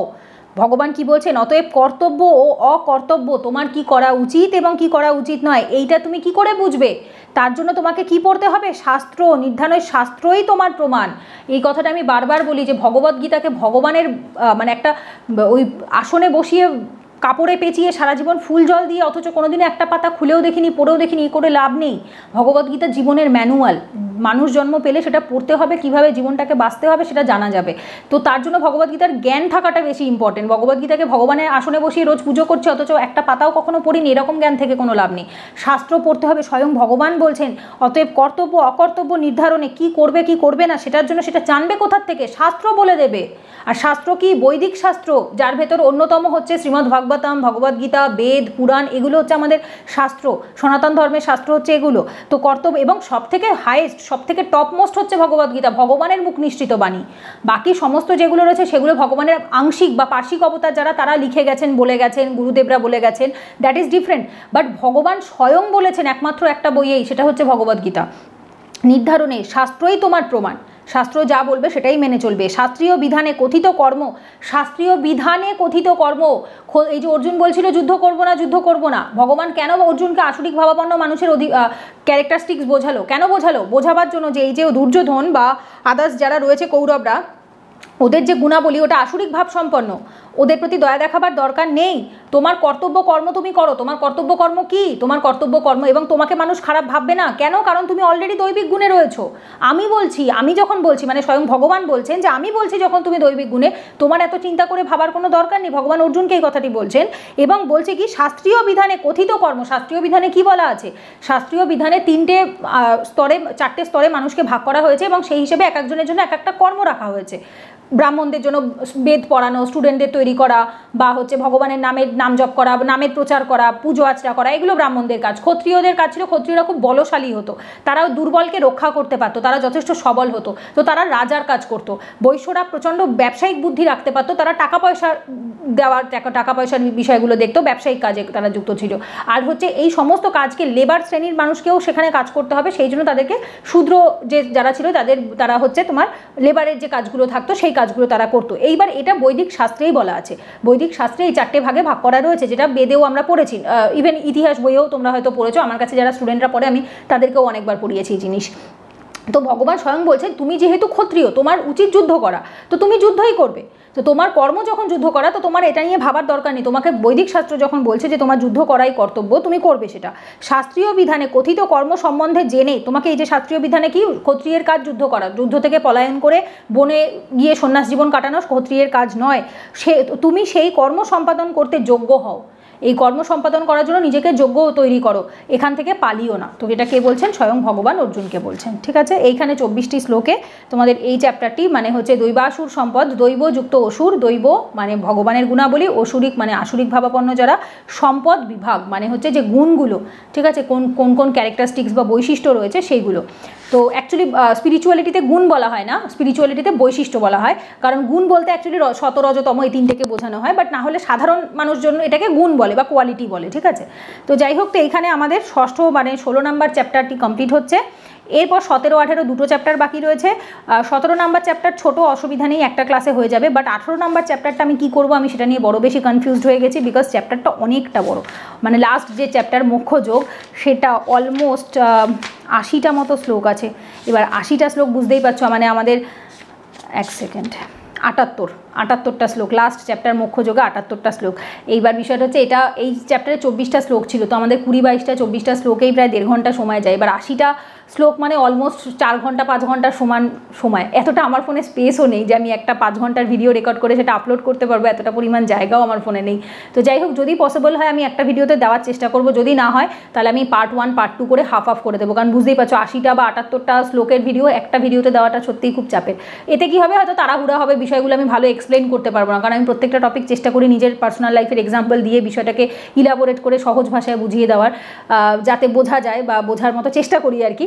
এবার সেই রকমভাবে বলতে গেলে আমাকে তাড়াহুড়া করলে চলবে না। তাড়াহুড়া করলে আমার একটা ভিডিওতে শেষ করার তারা থাকলে না ভিডিওটার কোয়ালিটি ভালো হবে না। যদি দুটো পার্টে ভাগ ভাগ করে দিই তাহলে একটু কোয়ালিটিটা বেটার হবে।